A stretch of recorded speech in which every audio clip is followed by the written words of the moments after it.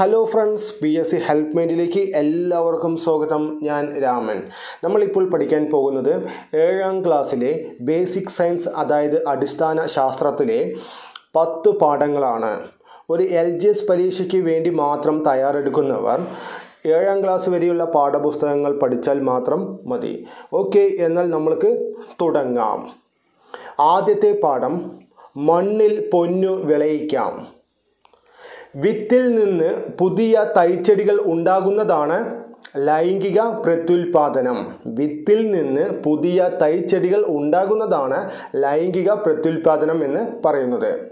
സസ്യങ്ങളുടെ വേര് തണ്ട് ഇല തുടങ്ങിയ ഭാഗങ്ങളിൽ നിന്ന് പുതിയ തൈച്ചെടികൾ ഉണ്ടാവുന്നതാണ് കായിക പ്രജനനം എന്ന് പറയുന്നത്. സസ്യങ്ങളുടെ വേര് തണ്ട് ഇല തുടങ്ങിയ ഭാഗങ്ങളിൽ നിന്ന് പുതിയ തൈച്ചെടികൾ ഉണ്ടാവുന്നതാണ് കായിക പ്രജനനം. ഒരേ വർഗത്തിൽപ്പെട്ട സസ്യങ്ങളുടെ തണ്ടുകൾ പരസ്പരം ഒട്ടിച്ചു ചേർത്ത് ഗുണമേന്മയുള്ള സസ്യം ഉണ്ടാക്കുന്ന രീതിയാണ് കൊമ്പ് ഒട്ടിക്കൽ അതായത് ഗ്രാഫ്റ്റിംഗ് എന്ന് പറയുന്നത്. ഒരേ വർഗത്തിൽപ്പെട്ട സസ്യങ്ങളുടെ തണ്ടുകൾ പരസ്പരം ഒട്ടിച്ചു ചേർത്ത് ഗുണമേന്മയുള്ള സസ്യം ഉണ്ടാക്കുന്ന രീതിയാണ് കൊമ്പ് ഒട്ടിക്കൽ അതായത് ഗ്രാഫ്റ്റിംഗ്.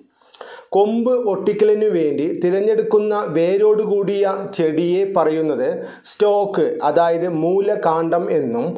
ഒട്ടിക്കുന്ന കൊമ്പിനെ പറയുന്നത് സയൺ അതായത് ഒട്ടു കമ്പ് എന്നുമാണ്.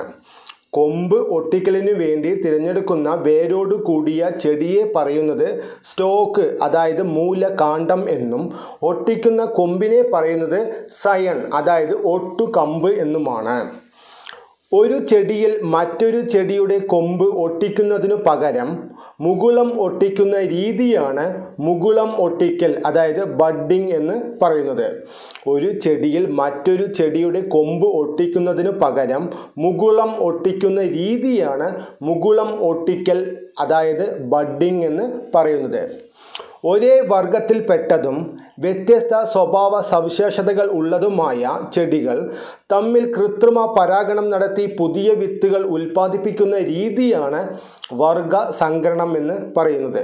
ഒരേ വർഗത്തിൽപ്പെട്ടതും വ്യത്യസ്ത സ്വഭാവ സവിശേഷതകൾ ഉള്ളതുമായ ചെടികൾ തമ്മിൽ കൃത്രിമ പരാഗണം നടത്തി പുതിയ വിത്തുകൾ ഉൽപ്പാദിപ്പിക്കുന്ന രീതിയാണ് വർഗ സംകരണം പ്രധാന തെങ്ങ് ഇനങ്ങൾ നീളം കൂടിയ ഇനങ്ങൾ west coast tall east coast tall Lakshadweep ordinary എന്നിവയാണ്. നീളം കുറഞ്ഞ ഇനങ്ങൾ ചാവക്കാട് ഓറഞ്ച് ചാവക്കാട് ഗ്രീൻ ഗംഗാ ബോന്തം എന്നിവയാണ്. സങ്കരീനം തെങ്ങുകളാണ്. ചന്ദ്രലക്ഷ ചന്ദ്രശങ്കര ലക്ഷഗംഗ തുടങ്ങിയവ. നെല്ലിന്റെ സങ്കരീനങ്ങളാണ്. പവിത്ര ഹ്രസ്വ അന്നപൂർണ എന്നിവ. പയറിന്റെ സങ്കര ഇനങ്ങളാണ് ലോല മാലിക ഭാഗ്യലക്ഷ്മി ജ്യോതിക എന്നിവ. പച്ചമുളകിന്റെ സങ്കര ഇനങ്ങളാണ് ഉജ്ജ്വല ജ്വാലാമുഖി അനുഗ്രഹ എന്നിവ. വെണ്ടയുടെ സങ്കര ഇനങ്ങളാണ് കിരൺ അർക്ക അനാമിക സൽകീർത്തി എന്നിവ. വഴുതനയുടെ സങ്കര ഇനങ്ങളാണ് സൂര്യ ശ്വേത ഹരിത നീലിമ എന്നിവ. തക്കാളിയുടെ സങ്കര ഇനങ്ങളാണ് മുക്തി അനക അക്ഷയ എന്നിവ. ഓക്കെ ഇത് ഒന്നുകൂടി ആവർത്തിച്ച് പഠിക്കുക. കാരണം ഇതിൽ നിന്ന് കഴിഞ്ഞ എൽ ജി എസ് പരീക്ഷയ്ക്ക് ഒരു ചോദ്യം ചോദിച്ചിട്ടുണ്ട്. ഏതാണ്? വെണ്ടിയുടെ സങ്കര ഇനം ഏതാണ്? അതിന് ഉത്തരം തന്നിരിക്കുന്നത് സൽകീർത്തിയാണ്. ഓക്കെ തൃശൂർ മണ്ണൂത്തിയിലെ കേരള കാർഷിക സർവകലാശാല വികസിപ്പിച്ചെടുത്ത സങ്കര ഇനം പാവൽ ഏതാണ്? പ്രിയങ്കയാണ്. തൃശൂർ മണ്ണൂത്തിയിലെ കേരള കാർഷിക സർവകലാശാല വികസിപ്പിച്ചെടുത്ത സങ്കര ഇനം പാവലാണ് പ്രിയങ്ക. ഓക്കെ. നമ്മുടെ നാട്ടിലെ ചില പ്രധാന കാർഷിക ഗവേഷണ സ്ഥാപനങ്ങൾ. ഓക്കെ. കേരള കാർഷിക സർവകലാശാല സ്ഥിതി ചെയ്യുന്നത് മണ്ണൂത്തി തൃശ്ശൂരാണ്. കേരള കാർഷിക സർവകലാശാല സ്ഥിതി ചെയ്യുന്നത് മണ്ണൂത്തി തൃശ്ശൂരാണ്. കേന്ദ്ര കിഴങ്ങുവിള ഗവേഷണ കേന്ദ്രം സ്ഥിതി ചെയ്യുന്നത് ശ്രീകാര്യം തിരുവനന്തപുരം. കേന്ദ്ര കിഴങ്ങുവിള ഗവേഷണ കേന്ദ്രം സ്ഥിതി ചെയ്യുന്നത് Sreekaryam തിരുവനന്തപുരമാണ്. Indian institute of spices research സ്ഥിതി ചെയ്യുന്നത് കോഴിക്കോടാണ്. Indian institute of spices research സ്ഥിതി ചെയ്യുന്നത് കോഴിക്കോടാണ്. കോട്ടയമാണ് rubber research institute of India സ്ഥിതി ചെയ്യുന്നത് കോട്ടയമാണ്. Rubber research institute of India സ്ഥിതി ചെയ്യുന്നത് കോട്ടയമാണ്. കേന്ദ്ര തോട്ടവിള ഗവേഷണ കേന്ദ്രം സ്ഥിതി ചെയ്യുന്നത് കാസർഗോഡാണ്. കേന്ദ്ര തോട്ടവിള ഗവേഷണ കേന്ദ്രം സ്ഥിതി ചെയ്യുന്നത് കാസർഗോഡാണ്. ഓക്കെ. ഒരു ചെടിയുടെ കോശത്തിൽ നിന്നോ ഒരു കൂട്ടം കോശങ്ങളിൽ നിന്നോ ചെടികൾ വളർത്തിയെടുത്ത് പുതിയ തലമുറയെ ഉൽപ്പാദിപ്പിക്കുന്ന പ്രവർത്തനമാണ് ടിഷ്യൂ കൾച്ചർ എന്ന് അറിയപ്പെടുന്നത്. ഒരു ചെടിയുടെ കോശത്തിൽ നിന്നോ ഒരു കൂട്ടം കോശങ്ങളിൽ നിന്നോ ചെടികൾ വളർത്തിയെടുത്ത് പുതിയ തലമുറയെ ഉൽപ്പാദിപ്പിക്കുന്ന പ്രവർത്തനമാണ് ടിഷ്യൂ കൾച്ചർ എന്ന് അറിയപ്പെടുന്നത്. പ്രധാന വിളകൾക്കിടയിൽ അവയ്ക്ക് ദോഷം വരാത്ത രീതിയിൽ കൃഷി ചെയ്യുന്ന ഹ്രസ്വകാല വിളകളെയാണ് ഇടവിള എന്ന് പറയുന്നത്. പ്രധാന വിളകൾക്കിടയിൽ അവയ്ക്ക് ദോഷം വരാത്ത രീതിയിൽ കൃഷി ചെയ്യുന്ന ഹ്രസ്വകാല വിളകളെയാണ് എന്തു പറയുന്നത്? ഇടവിള എന്ന് പറയുന്നത്. ഒരു കൃഷിക്കു ശേഷം അതേ കൃഷി തന്നെ ആവർത്തിക്കാതെ മറ്റൊരു കൃഷി ചെയ്യുന്നതാണ് വിള പര്യായം എന്ന് പറയുന്നത്.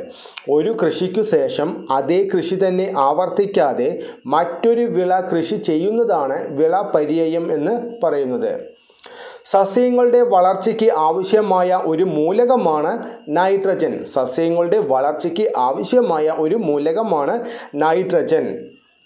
അന്തരീക്ഷ നൈട്രജനെ സസ്യങ്ങൾക്ക് നേരിട്ട് വലിച്ചെടുക്കാൻ കഴിവില്ലാത്തതിനാൽ ജലത്തിൽ അലിഞ്ഞു ചേർന്ന നൈട്രേറ്റ് ലവണങ്ങളാണ് സസ്യങ്ങൾ വലിച്ചെടുക്കുന്നത്.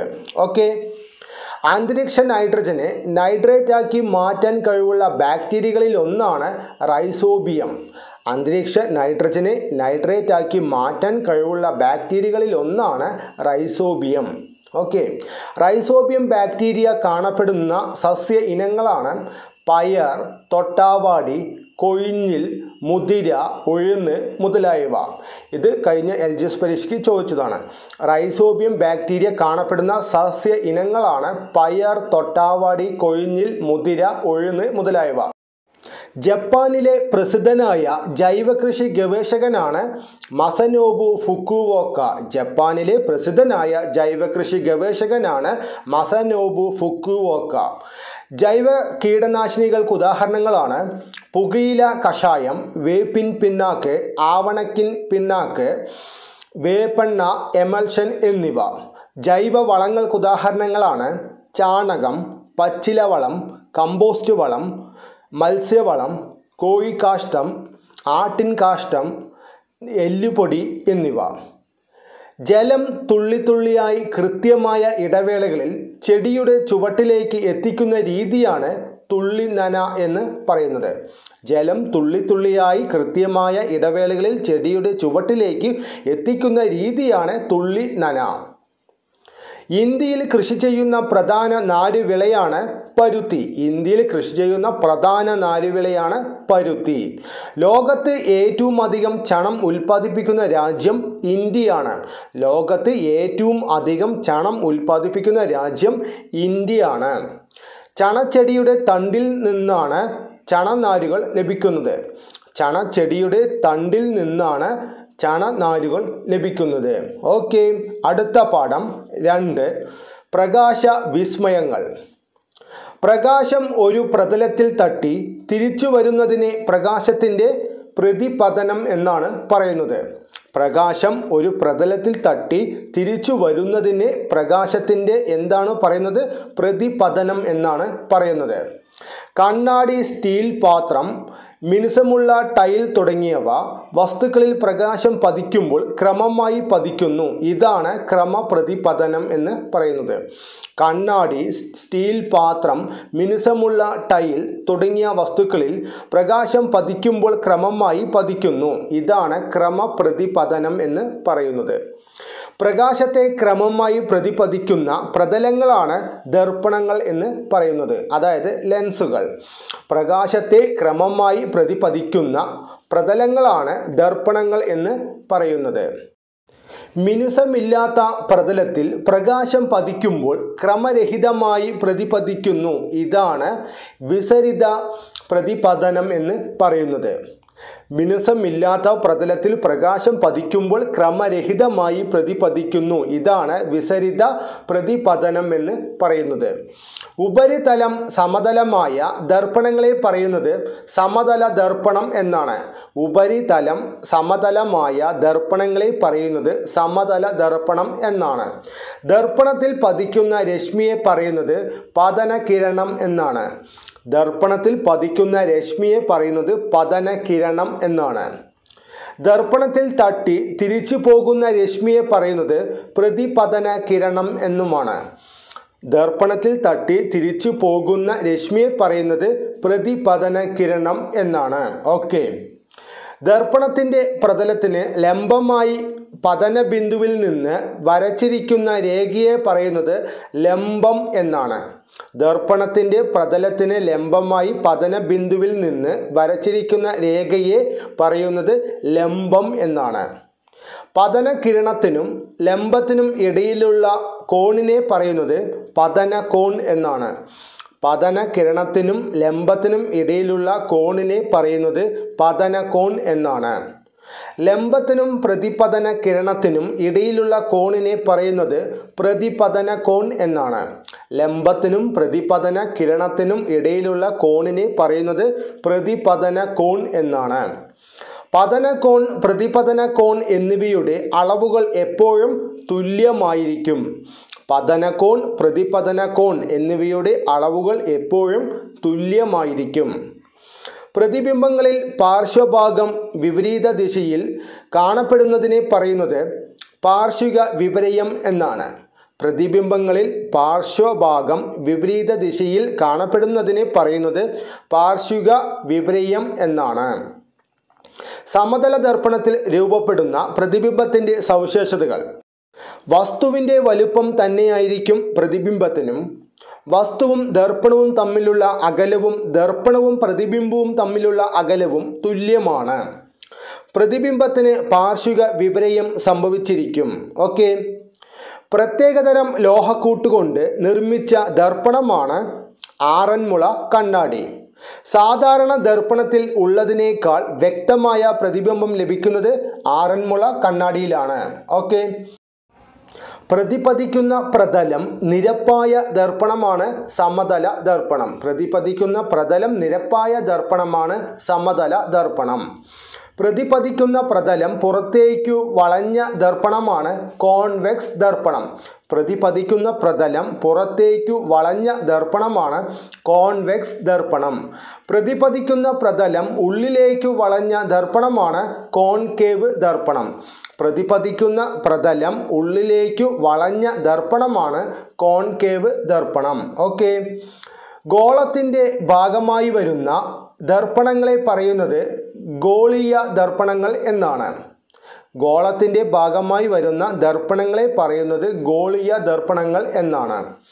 സ്ക്രീനിൽ പതിപ്പിക്കാൻ കഴിയുന്ന പ്രതിബിംബത്തെ പറയുന്നത് യഥാർത്ഥ പ്രതിബിംബം എന്നും ദർപ്പണത്തിനുള്ളിൽ കാണുന്നതും സ്ക്രീനിൽ പതിപ്പിക്കാൻ കഴിയാത്തതുമായ പ്രതിബിംബത്തെ പറയുന്നത് മിഥ്യ പ്രതിബിംബം എന്നുമാണ്. സ്ക്രീനിൽ പതിപ്പിക്കാൻ കഴിയുന്ന പ്രതിബിംബത്തെ പറയുന്നത് യഥാർത്ഥ പ്രതിബിംബം എന്നും ദർപ്പണത്തിനുള്ളിൽ കാണുന്നതും സ്ക്രീനിൽ പതിപ്പിക്കാൻ കഴിയാത്തതുമായ പ്രതിബിംബത്തെ പറയുന്നത് മിഥ്യ പ്രതിബിംബം എന്നുമാണ്. കോൺകേവ് ദർപ്പണം ഉപയോഗിച്ച് യഥാർത്ഥ പ്രതിബിംബം ഉണ്ടാക്കാം. ഓക്കെ. ബി സി ഇരുന്നൂറ്റി പതിനാല് ഇരുന്നൂറ്റി പന്ത്രണ്ട് കാലത്ത് റോമൻ സൈന്യം സിറാക്കോസ് പട്ടണം ആക്രമിച്ചപ്പോൾ വലിയൊരു കോൺകേവ് ദർപ്പണം ഉപയോഗിച്ച് സൂര്യരശ്മി കേന്ദ്രീകരിച്ച് ശത്രുക്കളുടെ കപ്പൽ കരിച്ചു കളഞ്ഞ മഹാനായ ഗ്രീക്ക് ശാസ്ത്രജ്ഞൻ ആരാണ്? ആർക്കിമിഡീസ് ആണ്. ഓക്കെ. അന്തർവാഹിനികളിൽ ഇരുന്നു കൊണ്ട് സമുദ്ര ഉപരിതലത്തിലുള്ള ദൃശ്യങ്ങൾ കാണുവാൻ ഉപയോഗിക്കുന്ന ഉപകരണമാണ് പെരിസ്കോപ്പ്. അന്തർവാഹിനികളിൽ ഇരുന്നു കൊണ്ട് സമുദ്ര ഉപരിതലത്തിലുള്ള ദൃശ്യങ്ങൾ കാണുവാൻ ഉപയോഗിക്കുന്ന ഉപകരണമാണ് പെരിസ്കോപ്പ്. ഓക്കെ. വിവിധ ദർപ്പണങ്ങളുടെ ചില ഉപയോഗങ്ങളും അവയുടെ പ്രത്യേകതകളും. ദർപ്പണം ഉപയോഗം പ്രത്യേകത. കോൺവെക്സ് ദർപ്പണത്തിന്റെ ഉപയോഗം വാഹനം ഓടിക്കുമ്പോൾ ഡ്രൈവർക്ക് പിന്നിൽ നിന്ന് വരുന്ന വാഹനങ്ങൾ കാണാനുള്ള ദർപ്പണം അതായത് റിയർ വ്യൂ മിററായി ഉപയോഗിക്കുന്നു. അതിന്റെ പ്രത്യേകത വസ്തുക്കളുടെ ചെറിയ പ്രതിബിംബം ലഭിക്കുന്നു കൂടുതൽ വിസ്തൃതി ദൃശ്യമാകുന്നു എന്നിവയാണ്. കോൺകേവ് ദർപ്പണത്തിന്റെ ഉപയോഗം ഷേവിംഗ് മിററായി ഉപയോഗിക്കുന്നു ടോർച്ചിലെ റിഫ്ലക്ടറായി ഉപയോഗിക്കുന്നു. പ്രത്യേകത വലിയ പ്രതിബിംബം ഉണ്ടാക്കാനുള്ള കഴിവ് പ്രകാശത്തെ സമാന്തരമായി പ്രതിപതിപ്പിക്കാനുള്ള കഴിവ് എന്നിവയാണ്. സമതല ദർപ്പണത്തിന്റെ ഉപയോഗം മുഖം നോക്കാൻ ഉപയോഗിക്കുന്നു കാലിഡോസ്കോപ്പ് നിർമ്മിക്കുന്നതിന് ഉപയോഗിക്കുന്നു. പ്രത്യേകത വസ്തുവിന് സമാനമായ പ്രതിബിംബം ആവർത്തന പ്രതിപതനം എന്നിവയാണ്. ഓക്കെ. പ്രകാശം ഒരു മാധ്യമത്തിൽ നിന്ന് വ്യത്യസ്തമായ മറ്റൊരു മാധ്യമത്തിലേക്ക് കടക്കുമ്പോൾ അതിന്റെ പാതയ്ക്ക് വ്യതിയാനം സംഭവിക്കുന്നു. പ്രകാശത്തിന്റെ ഈ പ്രതിഭാസത്തെ പറയുന്നത് അപവർത്തനം എന്നാണ്. പ്രകാശം ഒരു മാധ്യമത്തിൽ നിന്ന് വ്യത്യസ്തമായ മറ്റൊരു മാധ്യമത്തിലേക്ക് കടക്കുമ്പോൾ അതിന്റെ പാതയ്ക്ക് വ്യതിയാനം സംഭവിക്കുന്നു. പ്രകാശത്തിന്റെ ഈ പ്രതിഭാസത്തെ പറയുന്നതാണ് അപവർത്തനം എന്ന്. അപവർത്തനത്തിന് ഉദാഹരണങ്ങൾ വെള്ളമുള്ള ഗ്ലാസ്സിൽ വച്ച പെൻസിൽ മുറിഞ്ഞതുപോലെ തോന്നാൻ കാരണം എന്താണ്? അപവർത്തനമാണ്. പിന്നൊന്ന് വെള്ളമുള്ള പ്ലേറ്റിൽ വച്ച നാണയം അല്പം ഉയർന്നു പോലെ തോന്നാൻ കാരണം അതും അപവർത്തനമാണ്. ഓക്കെ. മദ്യത്തിൽ കനം കൂടിയതും വക്കുകൾ കനം കുറഞ്ഞതുമായ ലെൻസിനെ പറയുന്നത് കോൺവെക്സ് ലെൻസ് എന്നാണ്. മദ്യത്തിൽ കനം കൂടിയതും വക്കുകൾ കനം കുറഞ്ഞതുമായ ലെൻസിനെ പറയുന്നത് കോൺവെക്സ് ലെൻസ് എന്നാണ്. മധ്യത്തിൽ കനം കുറഞ്ഞ് വക്കുകൾ കനം കൂടിയിരിക്കുന്നവയെ പറയുന്നത് കോൺകേവ് ലെൻസ് എന്നാണ്. മധ്യത്തിൽ കനം കുറഞ്ഞ് വക്കുകൾ കനം കൂടിയിരിക്കുന്നവയെ പറയുന്നത് കോൺകേവ് ലെൻസ് എന്നാണ്. കോൺവെക്സ് ലെൻസ് അതിലൂടെ കടന്നു പോകുന്ന പ്രകാശരശ്മികളെ പരസ്പരം അടുപ്പിക്കുന്നു. കോൺകേവ് ലെൻസ് അതിലൂടെ കടന്നു പോകുന്ന പ്രകാശരശ്മികളെ പരസ്പരം അകറ്റുന്നു. കോൺവെക്സ് ലെൻസ് അതിലൂടെ കടന്നു പോകുന്ന പ്രകാശരശ്മികളെ പരസ്പരം അടുപ്പിക്കുന്നു. കോൺകേവ് ലെൻസ് അതിലൂടെ കടന്നു പോകുന്ന പ്രകാശരശ്മികളെ പരസ്പരം അകറ്റുന്നു. ഓക്കെ. കോൺവെക്സ് ലെൻസ് ഉപയോഗിക്കുന്ന ഉപകരണങ്ങൾ. ചെറിയ അക്ഷരങ്ങളെയും വസ്തുക്കളെയും വലുതായി കാണാൻ നാം ഉപയോഗിക്കുന്ന hand lens. Microscope telescope camera projector മുതലായവയിൽ ഉപയോഗിക്കുന്ന ലെൻസാണ് ഏത്? Convex lens. സൂര്യന്റെ ധവളപ്രകാശത്തിൽ എത്ര വർണങ്ങൾ അടങ്ങിയിട്ടുണ്ട്? ഏഴ് വർണങ്ങൾ. ഏതൊക്കെയാണ് ആ ഏഴ് വർണങ്ങൾ? Violet indigo blue green yellow orange red എന്നിവയാണ്. ഓർത്തു വയ്ക്കാൻ എങ്ങനെ ഓർത്തു വയ്ക്കാം? ക്രമമായിട്ട് വിബ്ജിയോർ എന്ന് ഓർത്തു വയ്ക്കാം. മഴവില്ലിന്റെ ഏറ്റവും പുറം വക്കിൽ കാണപ്പെടുന്ന നിറം ഏതാണ്? ചുവപ്പാണ്. മഴവില്ലിന്റെ നടുവിലായി കാണപ്പെടുന്ന നിറം ഏതാണ്? പച്ചയാണ്. മഴവില്ലിന്റെ ഏറ്റവും ഉള്ളിലായി കാണപ്പെടുന്ന നിറം ഏതാണ്? വയലറ്റാണ്. ഓക്കെ. ധവളപ്രകാശം പ്രിസത്തിലൂടെ കടത്തിവിടുമ്പോൾ അത് ഘടകവർണങ്ങളായി മാറുന്ന പ്രതിഭാസത്തെ പറയുന്നത് പ്രകീർണനം എന്നാണ്.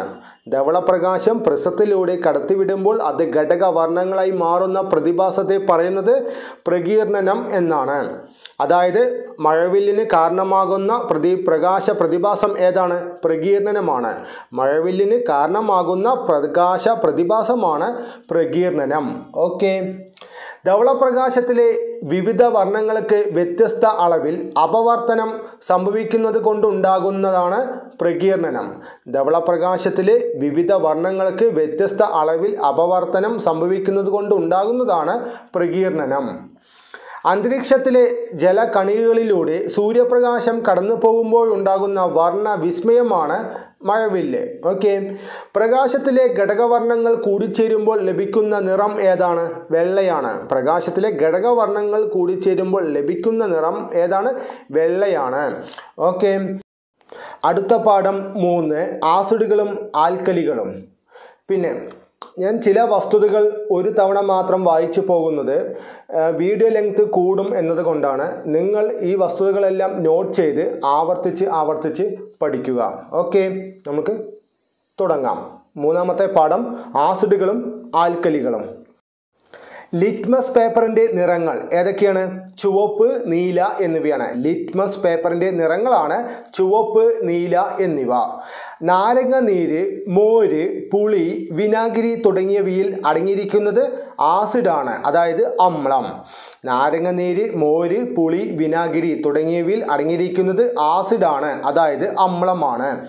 ആസിഡിൽ ലിറ്റ്മസ് പേപ്പറിന്റെ നിറം ചുവപ്പായിരിക്കും. ആസിഡിൽ ലിറ്റ്മസ് പേപ്പറിന്റെ നിറം ചുവപ്പായിരിക്കും. എല്ലാ ആസിഡുകളും പുളി രുചി ഉള്ളവയാണ്. എല്ലാ ആസിഡുകളും പുളി രുചി ഉള്ളവയാണ്. ഭക്ഷ്യവസ്തുക്കളിൽ അടങ്ങിയിരിക്കുന്ന ആസിഡുകൾ ശക്തി കുറഞ്ഞവയാണ്. ഭക്ഷ്യവസ്തുക്കളിൽ അടങ്ങിയിരിക്കുന്ന ആസിഡുകൾ ശക്തി കുറഞ്ഞവയാണ്. ലബോറട്ടറിയിൽ ഉപയോഗിക്കുന്ന ശക്തി കൂടിയ ആസിഡുകളാണ് hydrochloric acid nitric acid sulphuric acid തുടങ്ങിയവ. ലബോറട്ടറിയിൽ ഉപയോഗിക്കുന്ന ശക്തി കൂടിയ ആസിഡുകളാണ് hydrochloric acid nitric acid sulphuric acid തുടങ്ങിയവ. ഓക്കെ. നിത്യജീവിതത്തിൽ ഉപയോഗിക്കുന്ന ചില ഭക്ഷ്യവസ്തുക്കളിലെ ആസിഡുകൾ. മോരിൽ അടങ്ങിയിരിക്കുന്ന ആസിഡ് ലാക്റ്റിക് ആസിഡാണ്. മോരിൽ അടങ്ങിയിരിക്കുന്ന ആസിഡാണ് ലാക്റ്റിക് ആസിഡ്. വിനാഗിരിയിൽ അടങ്ങിയിരിക്കുന്ന ആസിഡാണ് അസറ്റിക് ആസിഡ്. വിനാഗിരിയിൽ അടങ്ങിയിരിക്കുന്ന ആസിഡാണ് അസറ്റിക് ആസിഡ്. പുളിയിൽ അടങ്ങിയിരിക്കുന്ന ആസിഡാണ് ടാർട്ടാറിക് ആസിഡ്. പുളിയിൽ അടങ്ങിയിരിക്കുന്ന ആസിഡാണ് ടാർട്ടാറിക് ആസിഡ്. നാരങ്ങയിൽ അടങ്ങിയിരിക്കുന്ന ആസിഡാണ് സിട്രിക് ആസിഡ്. നാരങ്ങയിൽ അടങ്ങിയിരിക്കുന്ന ആസിഡാണ് സിട്രിക് ആസിഡ്. ആപ്പിളിൽ അടങ്ങിയിരിക്കുന്ന ആസിഡാണ് മാലിക് ആസിഡ്. ആപ്പിളിൽ അടങ്ങിയിരിക്കുന്ന ആസിഡാണ് മാലിക് ആസിഡ്. ഓക്കെ. നേർപ്പിച്ച ഹൈഡ്രോക്ലോറിക് ആസിഡ് സിങ്കുമായി പ്രവർത്തിക്കുമ്പോൾ ഉണ്ടാകുന്ന വാതകം ഏതാണ്? ഹൈഡ്രജൻ ആണ് നേർപ്പിച്ച ഹൈഡ്രോക്ലോറിക് ആസിഡ് സിങ്കുമായി പ്രവർത്തിക്കുമ്പോൾ ഉണ്ടാകുന്ന വാതകമാണ് ഹൈഡ്രജൻ. കത്തുന്ന വാതകം എന്നറിയപ്പെടുന്നത് ഹൈഡ്രജൻ ആണ് കത്തുന്ന വാതകം എന്നറിയപ്പെടുന്നത് ഹൈഡ്രജൻ ആണ് ഹൈഡ്രജൻ എന്ന വാതകത്തെ തിരിച്ചറിഞ്ഞ ബ്രിട്ടീഷ് ശാസ്ത്രജ്ഞൻ ആരാണ്? ഹെൻറി കാവൻഡിഷ് ആണ്. ഹൈഡ്രജൻ എന്ന വാതകത്തെ തിരിച്ചറിഞ്ഞ ബ്രിട്ടീഷ് ശാസ്ത്രജ്ഞനാണ് ഹെൻറി കാവൻഡീഷ്. ഹൈഡ്രജൻ വാതകത്തിന് ഈ പേര് നൽകിയത് ആരാണ്? ലാവോസിയർ ആണ്. ഹൈഡ്രജൻ വാതകത്തിന് ഹൈഡ്രജൻ എന്ന പേര് നൽകിയത് ആരാണ്? ലാവോസിയർ ആണ്. ഹൈഡ്രജൻ എന്ന വാക്കിനർത്ഥം ജലം ഉൽപ്പാദിപ്പിക്കുന്നു എന്നാണ്. ഹൈഡ്രജൻ എന്ന വാക്കിനർത്ഥം ജലം ഉൽപ്പാദിപ്പിക്കുന്നത് എന്നാണ്. ഓക്കെ. മുട്ടത്തോട് ചോക്ക് മാർബിൾ എന്നിവയിൽ അടങ്ങിയിരിക്കുന്ന മൂലകമാണ് കാൽസ്യം കാർബണേറ്റ്. മുട്ടത്തോട് ചോക്ക് മാർബിൾ എന്നിവയിൽ അടങ്ങിയിരിക്കുന്ന മൂലകമാണ് കാൽസ്യം കാർബണേറ്റ്. ആസിഡുകൾ കാർബണേറ്റുകളുമായി അതായത് മുട്ടത്തോട് ചോക്ക് മാർബിൾ എന്നിവയുമായി പ്രവർത്തിക്കുമ്പോൾ ഉണ്ടാകുന്ന വാതകമാണ് കാർബൺ ഡൈ ഓക്സൈഡ്. ആസിഡുകൾ കാർബണേറ്റുകളുമായി പ്രവർത്തിക്കുമ്പോൾ ഉണ്ടാകുന്ന വാതകമാണ് കാർബൺ ഡൈ ഓക്സൈഡ്. തീ കെടുത്തുന്ന വാതകമാണ് കാർബൺ ഡൈ ഓക്സൈഡ്. തീ കെടുത്തുന്ന വാതകമാണ് കാർബൺ ഡൈ ഓക്സൈഡ്. വിനാഗിരി അതായത് അസറ്റിക് ആസിഡും അപ്പക്കാരം അതായത് സോഡിയം ബൈ കാർബണേറ്റും തമ്മിൽ പ്രവർത്തിക്കുമ്പോൾ ഉണ്ടാകുന്ന വാതകമാണ് കാർബൺ ഡൈ ഓക്സൈഡ്. ഈ തത്വം ഉപയോഗിച്ചാണ് അഗ്നിശമനി പ്രവർത്തിക്കുന്നത്. വിനാഗിരി അതായത് അസറ്റിക് ആസിഡും അപ്പക്കാരം അതായത് സോഡിയം ബൈ കാർബണേറ്റും തമ്മിൽ പ്രവർത്തിക്കുമ്പോൾ ഉണ്ടാകുന്ന വാതകമാണ് കാർബൺ ഡൈ ഓക്സൈഡ്. ഈ തത്വം ഉപയോഗിച്ചാണ് അഗ്നിശമനി പ്രവർത്തിക്കുന്നത്. ഓക്കെ. ഉറുമ്പ് കടിക്കുമ്പോൾ അല്പം നമ്മുടെ ശരീരത്തിൽ പ്രവേശിക്കുന്ന ആസിഡ് ഏതാണ്? ഫോർമിക് ആസിഡാണ്. അതുകൊണ്ടാണ് നമ്മൾക്ക് വേദനിക്കാൻ കാരണം. ഉറുമ്പ് കടിക്കുമ്പോൾ അല്പം നമ്മുടെ ശരീരത്തിൽ പ്രവേശിക്കുന്ന ആസിഡാണ് ഫോർമിക് ആസിഡ്. ഓക്കെ. ചുവപ്പ് ലിറ്റ്മസിനെ നീലയാക്കുന്ന ചുണ്ണാമ്പ് വെള്ളം പോലുള്ള പദാർത്ഥങ്ങളാണ് ആൽക്കലികൾ. ചുവപ്പ് ലിറ്റ്മസിനെ നീലയാക്കുന്ന ചുണ്ണാമ്പ് വെള്ളം പോലുള്ള പദാർത്ഥങ്ങളാണ് ആൽക്കലികൾ എന്ന് അറിയപ്പെടുന്നത്. ആൽക്കലികൾ കാരരുചി ഉള്ളവയും വഴുവഴുപ്പുള്ളവയും ആയിരിക്കും. ആൽക്കലികൾ കാരരുചി ഉള്ളവയും വഴുവഴുപ്പുള്ളവയും ആയിരിക്കും. ഓക്കെ. ആൽക്കലികളുടെ രാസനാമം നോക്കാം. ചുണ്ണാമ്പ് വെള്ളത്തിന്റെ രാസനാമം കാൽസ്യം ഹൈഡ്രോക്സൈഡ്. ചുണ്ണാമ്പ് വെള്ളത്തിന്റെ രാസനാമമാണ് കാൽസ്യം ഹൈഡ്രോക്സൈഡ്. കാസ്റ്റിക് സോഡയുടെ രാസനാമം സോഡിയം ഹൈഡ്രോക്സൈഡ് ആണ് കാസ്റ്റിക് സോഡയുടെ രാസനാമമാണ് സോഡിയം ഹൈഡ്രോക്സൈഡ്. കാസ്റ്റിക് പൊട്ടാഷിന്റെ രാസനാമം പൊട്ടാസ്യം ഹൈഡ്രോക്സൈഡ് ആണ് കാസ്റ്റിക് പൊട്ടാഷിന്റെ രാസനാമമാണ് പൊട്ടാസ്യം ഹൈഡ്രോക്സൈഡ്. ലിക്കർ അമോണിയയുടെ രാസനാമം അമോണിയം ഹൈഡ്രോക്സൈഡ് ആണ് ലിക്കർ അമോണിയയുടെ രാസനാമമാണ് അമോണിയം ഹൈഡ്രോക്സൈഡ്. ഓക്കെ. നിറം മാറ്റത്തിലൂടെ ആസിഡുകളെയും ആൽക്കലികളെയും തിരിച്ചറിയാൻ സഹായിക്കുന്ന പദാർത്ഥങ്ങളാണ് സൂചകങ്ങൾ എന്ന് പറയുന്നത്. നിറം മാറ്റത്തിലൂടെ ആസിഡുകളെയും ആൽക്കലികളെയും തിരിച്ചറിയാൻ സഹായിക്കുന്ന പദാർത്ഥങ്ങളാണ് സൂചകങ്ങൾ. സൂചകങ്ങളായി ഉപയോഗിക്കുന്ന സസ്യഭാഗങ്ങൾ ഏതൊക്കെയാണ്? മഞ്ഞൾ ചെമ്പരത്തിപ്പൂവ് ബീറ്റ്റൂട്ട് തുടങ്ങി ധാരാളം സസ്യഭാഗങ്ങൾ സൂചകങ്ങളായി ഉപയോഗിക്കുന്നു. സൂചകങ്ങളായി ഉപയോഗിക്കുന്ന സസ്യഭാഗങ്ങൾ ഏതൊക്കെയാണ്? മഞ്ഞൾ ചെമ്പരത്തിപ്പൂവ് ബീറ്റ്റൂട്ട് തുടങ്ങി ധാരാളം സസ്യഭാഗങ്ങൾ സൂചകങ്ങളായി ഉപയോഗിക്കുന്നു. ഓക്കെ. ലബോറട്ടറിയിൽ ഉപയോഗിക്കുന്ന ഒരു സൂചകമാണ് ലിറ്റ്മസ് പേപ്പർ. ലബോറട്ടറിയിൽ ഉപയോഗിക്കുന്ന ഒരു സൂചകമാണ് ലിറ്റ്മസ് പേപ്പർ. ഓക്കെ.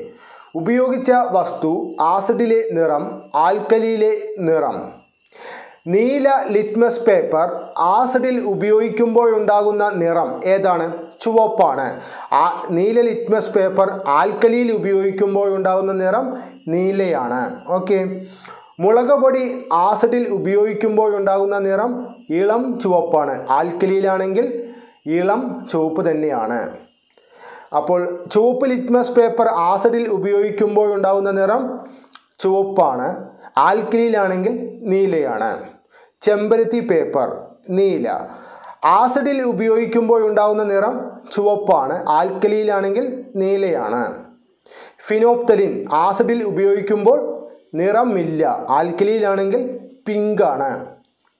വെള്ള പേപ്പർ ആസിഡിൽ ഉപയോഗിക്കുമ്പോൾ ഉണ്ടാകുന്ന നിറം വെള്ള തന്നെയാണ്. ആൽക്കലിയിലാണെങ്കിൽ അതും വെള്ള തന്നെയാണ്.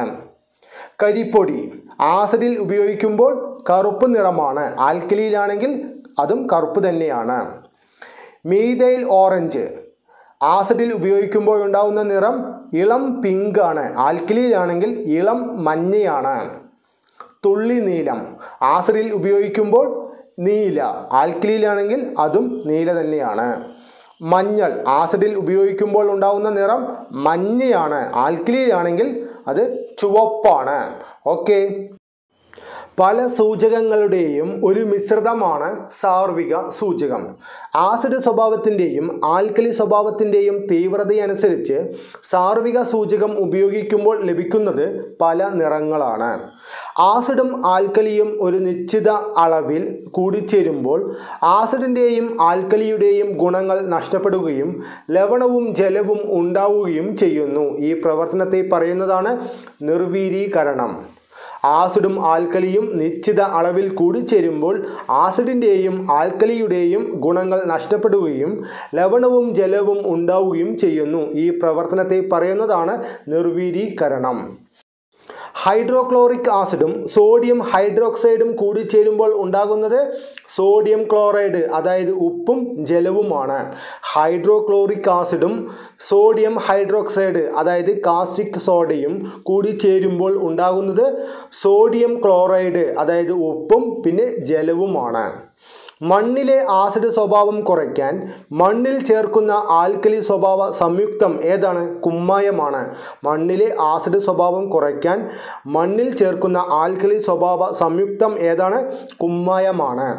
ഒരു വസ്തു ആസിഡ് സ്വഭാവമുള്ളതാണോ ആൽക്കലി സ്വഭാവമുള്ളതാണോ എന്ന് പരിശോധിച്ച് അറിയുന്നതിന് ഉപയോഗിക്കുന്നത് പി എച്ച് പേപ്പറാണ് ഒരു വസ്തു ആസിഡ് സ്വഭാവമുള്ളതാണോ ആൽക്കലി സ്വഭാവമുള്ളതാണോ എന്ന് പരിശോധിച്ച് അറിയുന്നതിന് ഉപയോഗിക്കുന്നത് പി എച്ച് പേപ്പറാണ് നിർവീര്യ വസ്തുവിനെ സൂചിപ്പിക്കുന്ന പി എച്ച് മൂല്യം എത്രയാണ്?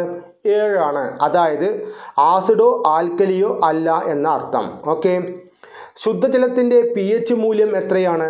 ഏഴാണ് പി എച്ച് മൂല്യം ഏഴിന് മുകളിലാണെങ്കിൽ ആൽക്കലി സ്വഭാവവും പി എച്ച് മൂല്യം ഏഴിൽ താഴെയാണെങ്കിൽ ആസിഡ് സ്വഭാവവും ആയിരിക്കും.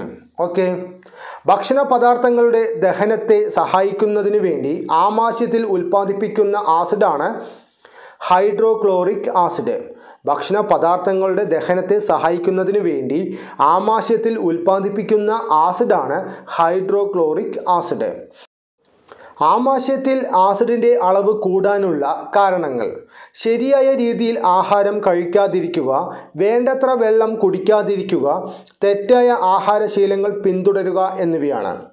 ആമാശയത്തിൽ ആസിഡിന്റെ അളവ് കൂടുന്നതിനെ പറയുന്നതാണ് അസിഡിറ്റി ആമാശയത്തിൽ ആസിഡിന്റെ അളവ് കൂടുന്നതിനെ പറയുന്നതാണ് അസിഡിറ്റി അസിഡിറ്റി പരിഹരിക്കാൻ ഡോക്ടർമാർ സാധാരണ നിർദ്ദേശിക്കാറുള്ള ഔഷധങ്ങളാണ് ആൽക്കലി അടങ്ങിയ ഔഷധങ്ങൾ. ഓക്കെ. ആസിഡും അവയുടെ ഉപയോഗവും.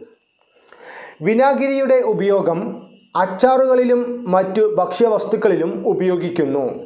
സിട്രിക് ആസിഡിന്റെ ഉപയോഗം ഭക്ഷ്യവസ്തുക്കൾ കേടുവരാതെ സൂക്ഷിക്കാനും പാനീയങ്ങളിലും ഉപയോഗിക്കുന്നു. നൈട്രിക് ആസിഡ് സൾഫ്യൂരിക് ആസിഡ് തുടങ്ങിയവയുടെ ഉപയോഗം രാസവളം പെയിന്റ് ഡൈ തുടങ്ങിയവയുടെ നിർമ്മാണത്തിന് ഉപയോഗിക്കുന്നു. സൾഫ്യൂരിക് ആസിഡിന്റെ ഉപയോഗം മോട്ടോർ വാഹനങ്ങളിലെ ബാറ്ററിയിൽ ഉപയോഗിക്കുന്നു.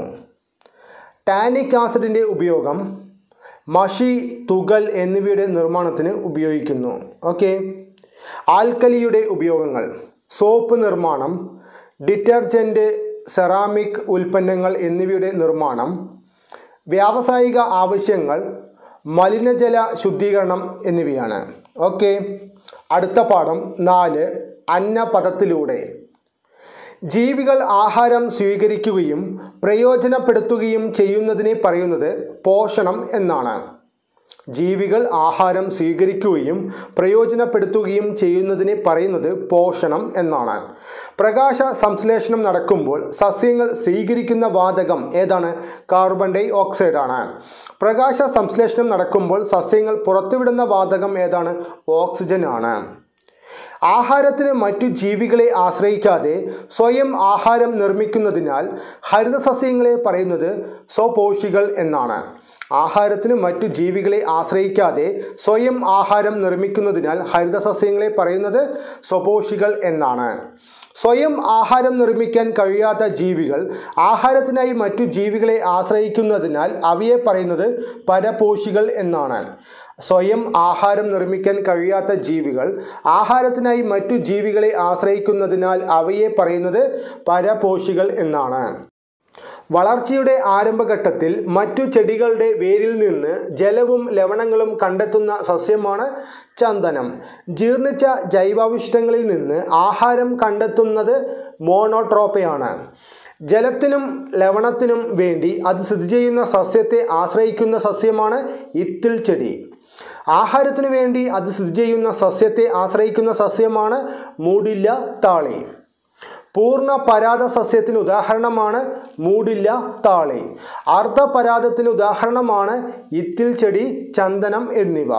ശവോപജീവികൾക്ക് ഉദാഹരണമാണ് മോണോട്രോപ്പ. ബാഹ്യ പരാതങ്ങൾക്ക് ഉദാഹരണമാണ് പേൻ ചെള്ള് എന്നിവ. ആന്തരപരാതത്തിന് ഉദാഹരണമാണ് വിര ഓക്കെ. ഇരപിടിയൻ സസ്യങ്ങൾക്ക് ഉദാഹരണങ്ങൾ. വീനസ് ഫ്ലൈ ട്രാപ്പ് സൺഡ്യൂ ചെടി പിച്ചർ ചെടി എന്നിവയാണ്. ഇരപിടിയൻ സസ്യങ്ങൾക്ക് ഉദാഹരണങ്ങളാണ്. വീനസ് ഫ്ലൈ ട്രാപ്പ് സൺഡ്യൂ ചെടി പിച്ചർ ചെടി എന്നിവയാണ്. അന്തരീക്ഷ നൈട്രജനെ നൈട്രേറ്റ് ആക്കി മാറ്റുന്ന മണ്ണിലെ ബാക്ടീരിയകളാണ് അസറ്റോബാക്ടർ നൈട്രോബാക്ടർ എന്നിവ. അന്തരീക്ഷ നൈട്രജനെ നൈട്രേറ്റ് ആക്കി മാറ്റുന്ന മണ്ണിലെ ബാക്ടീരിയകളാണ് അസറ്റോബാക്ടർ നൈട്രോബാക്ടർ എന്നിവ. ആഹാരത്തിന്റെ ദഹനം ആരംഭിക്കുന്നത് വായിൽ വെച്ചാണ്. മനുഷ്യ ശരീരത്തിലെ കാഠിന്യമേറിയ ഭാഗമാണ് പല്ല്. പല്ലിന്റെ ഏറ്റവും ഉപരിതല പാളിയാണ് ഇനാമൽ. ശരീരത്തിലെ ഏറ്റവും കാഠിന്യമേറിയ പദാർത്ഥമാണ് പല്ലിന്റെ ഇനാമൽ. ഓക്കെ. പല്ലിലെ ഇനാമലിന്റെ നാശത്തിന് കാരണമാകുന്ന ആസിഡ് ഏതാണ്? ലാക്റ്റിക് ആസിഡ് ആണ് ഇതെങ്ങനെയാണ് ആ ലാക്റ്റിക് ആസിഡ് പല്ലിലുണ്ടാവുന്നത് പല്ലുകൾക്കിടയിലുള്ള ആഹാര അവശിഷ്ടങ്ങളെ ബാക്ടീരിയകൾ പോഷണം നടത്തുകയും അതിന്റെ ഫലമായി ലാക്റ്റിക് ആസിഡ് ഉൽപ്പാദിപ്പിക്കുകയും ചെയ്യുന്നു. ഓക്കെ. അപ്പോൾ പല്ലിലെ ഇനാമലിന്റെ നാശത്തിന് കാരണമാകുന്ന ആസിഡ് ഏതാണ്? ലാക്റ്റിക് ആസിഡാണ്. കുട്ടികളിൽ പല്ലുമുളയ്ക്കാൻ തുടങ്ങുന്നത് ഏകദേശം എത്ര പ്രായമാവുമ്പോഴാണ്? ആറുമാസം പ്രായമാവുമ്പോഴാണ്. കുട്ടികളിൽ പല്ലുമുളയ്ക്കാൻ തുടങ്ങുന്നത് ഏകദേശം എത്ര പ്രായമാവുമ്പോഴാണ്? ആറുമാസം പ്രായമാകുമ്പോഴാണ് കുട്ടികളിൽ ആദ്യമായി മുളയ്ക്കുന്ന പല്ലുകളാണ് പാൽ പല്ലുകൾ. പാൽ പല്ലുകളുടെ എണ്ണം എത്രയാണ്? ഇരുപതാണ്. അതായത് മുകളിലും താഴെയുമായി പത്ത് വീതം പല്ലുകളാണ്.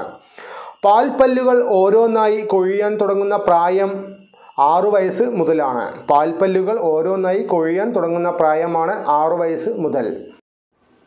പാൽപ്പല്ലുകൾക്ക് ശേഷം മുളയ്ക്കുന്ന പല്ലുകളാണ് സ്ഥിരദന്തങ്ങൾ. ഏറ്റവും അവസാനം ഉണ്ടാകുന്ന അറ്റത്തുള്ള പല്ലാണ് അണപ്പല്ല്. ചവച്ചരിക്കാൻ. ഉളിപ്പല്ല്. മുൻവശത്ത് താഴെയും മുകളിലുമായി എട്ടു പല്ലുകൾ. കടിച്ചു മുറിക്കാൻ സഹായിക്കുന്നു. കോമ്പല്ല്. ഉളിപ്പല്ലുകൾക്ക് സമീപം ഇരുവശങ്ങളിലും മുകളിലും താഴെയുമായി നാലു പല്ലുകൾ. ആഹാര വസ്തുക്കൾ കടിച്ചു കീറാൻ സഹായിക്കുന്നു. അഗ്ര ചർവണകം കോമ്പല്ലിന് സമീപം ഇരുവശങ്ങളിലും മുകളിലും താഴെയുമായി എട്ടു പല്ലുകൾ ചവച്ചരിക്കാൻ സഹായിക്കുന്നു.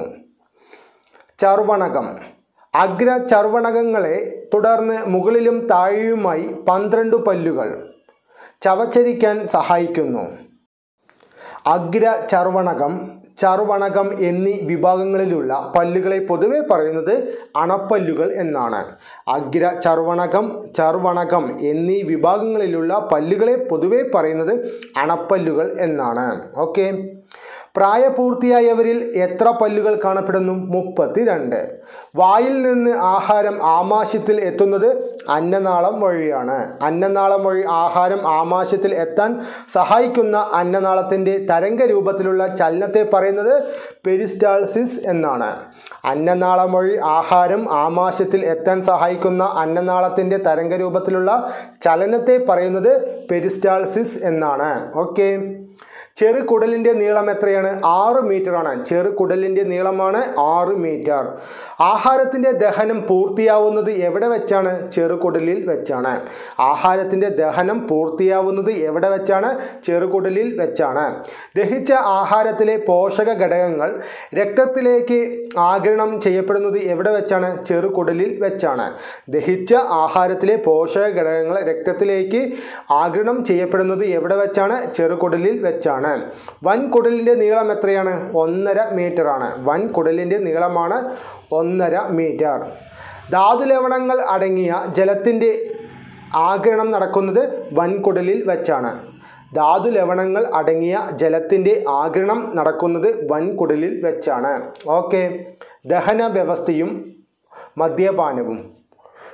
മദ്യം ആമാശയത്തിലെ മൃദുലമായ പാളികളിൽ വ്രണം ഉണ്ടാക്കുന്നു. ഇത് അൾസറിന് കാരണമാകുന്നു.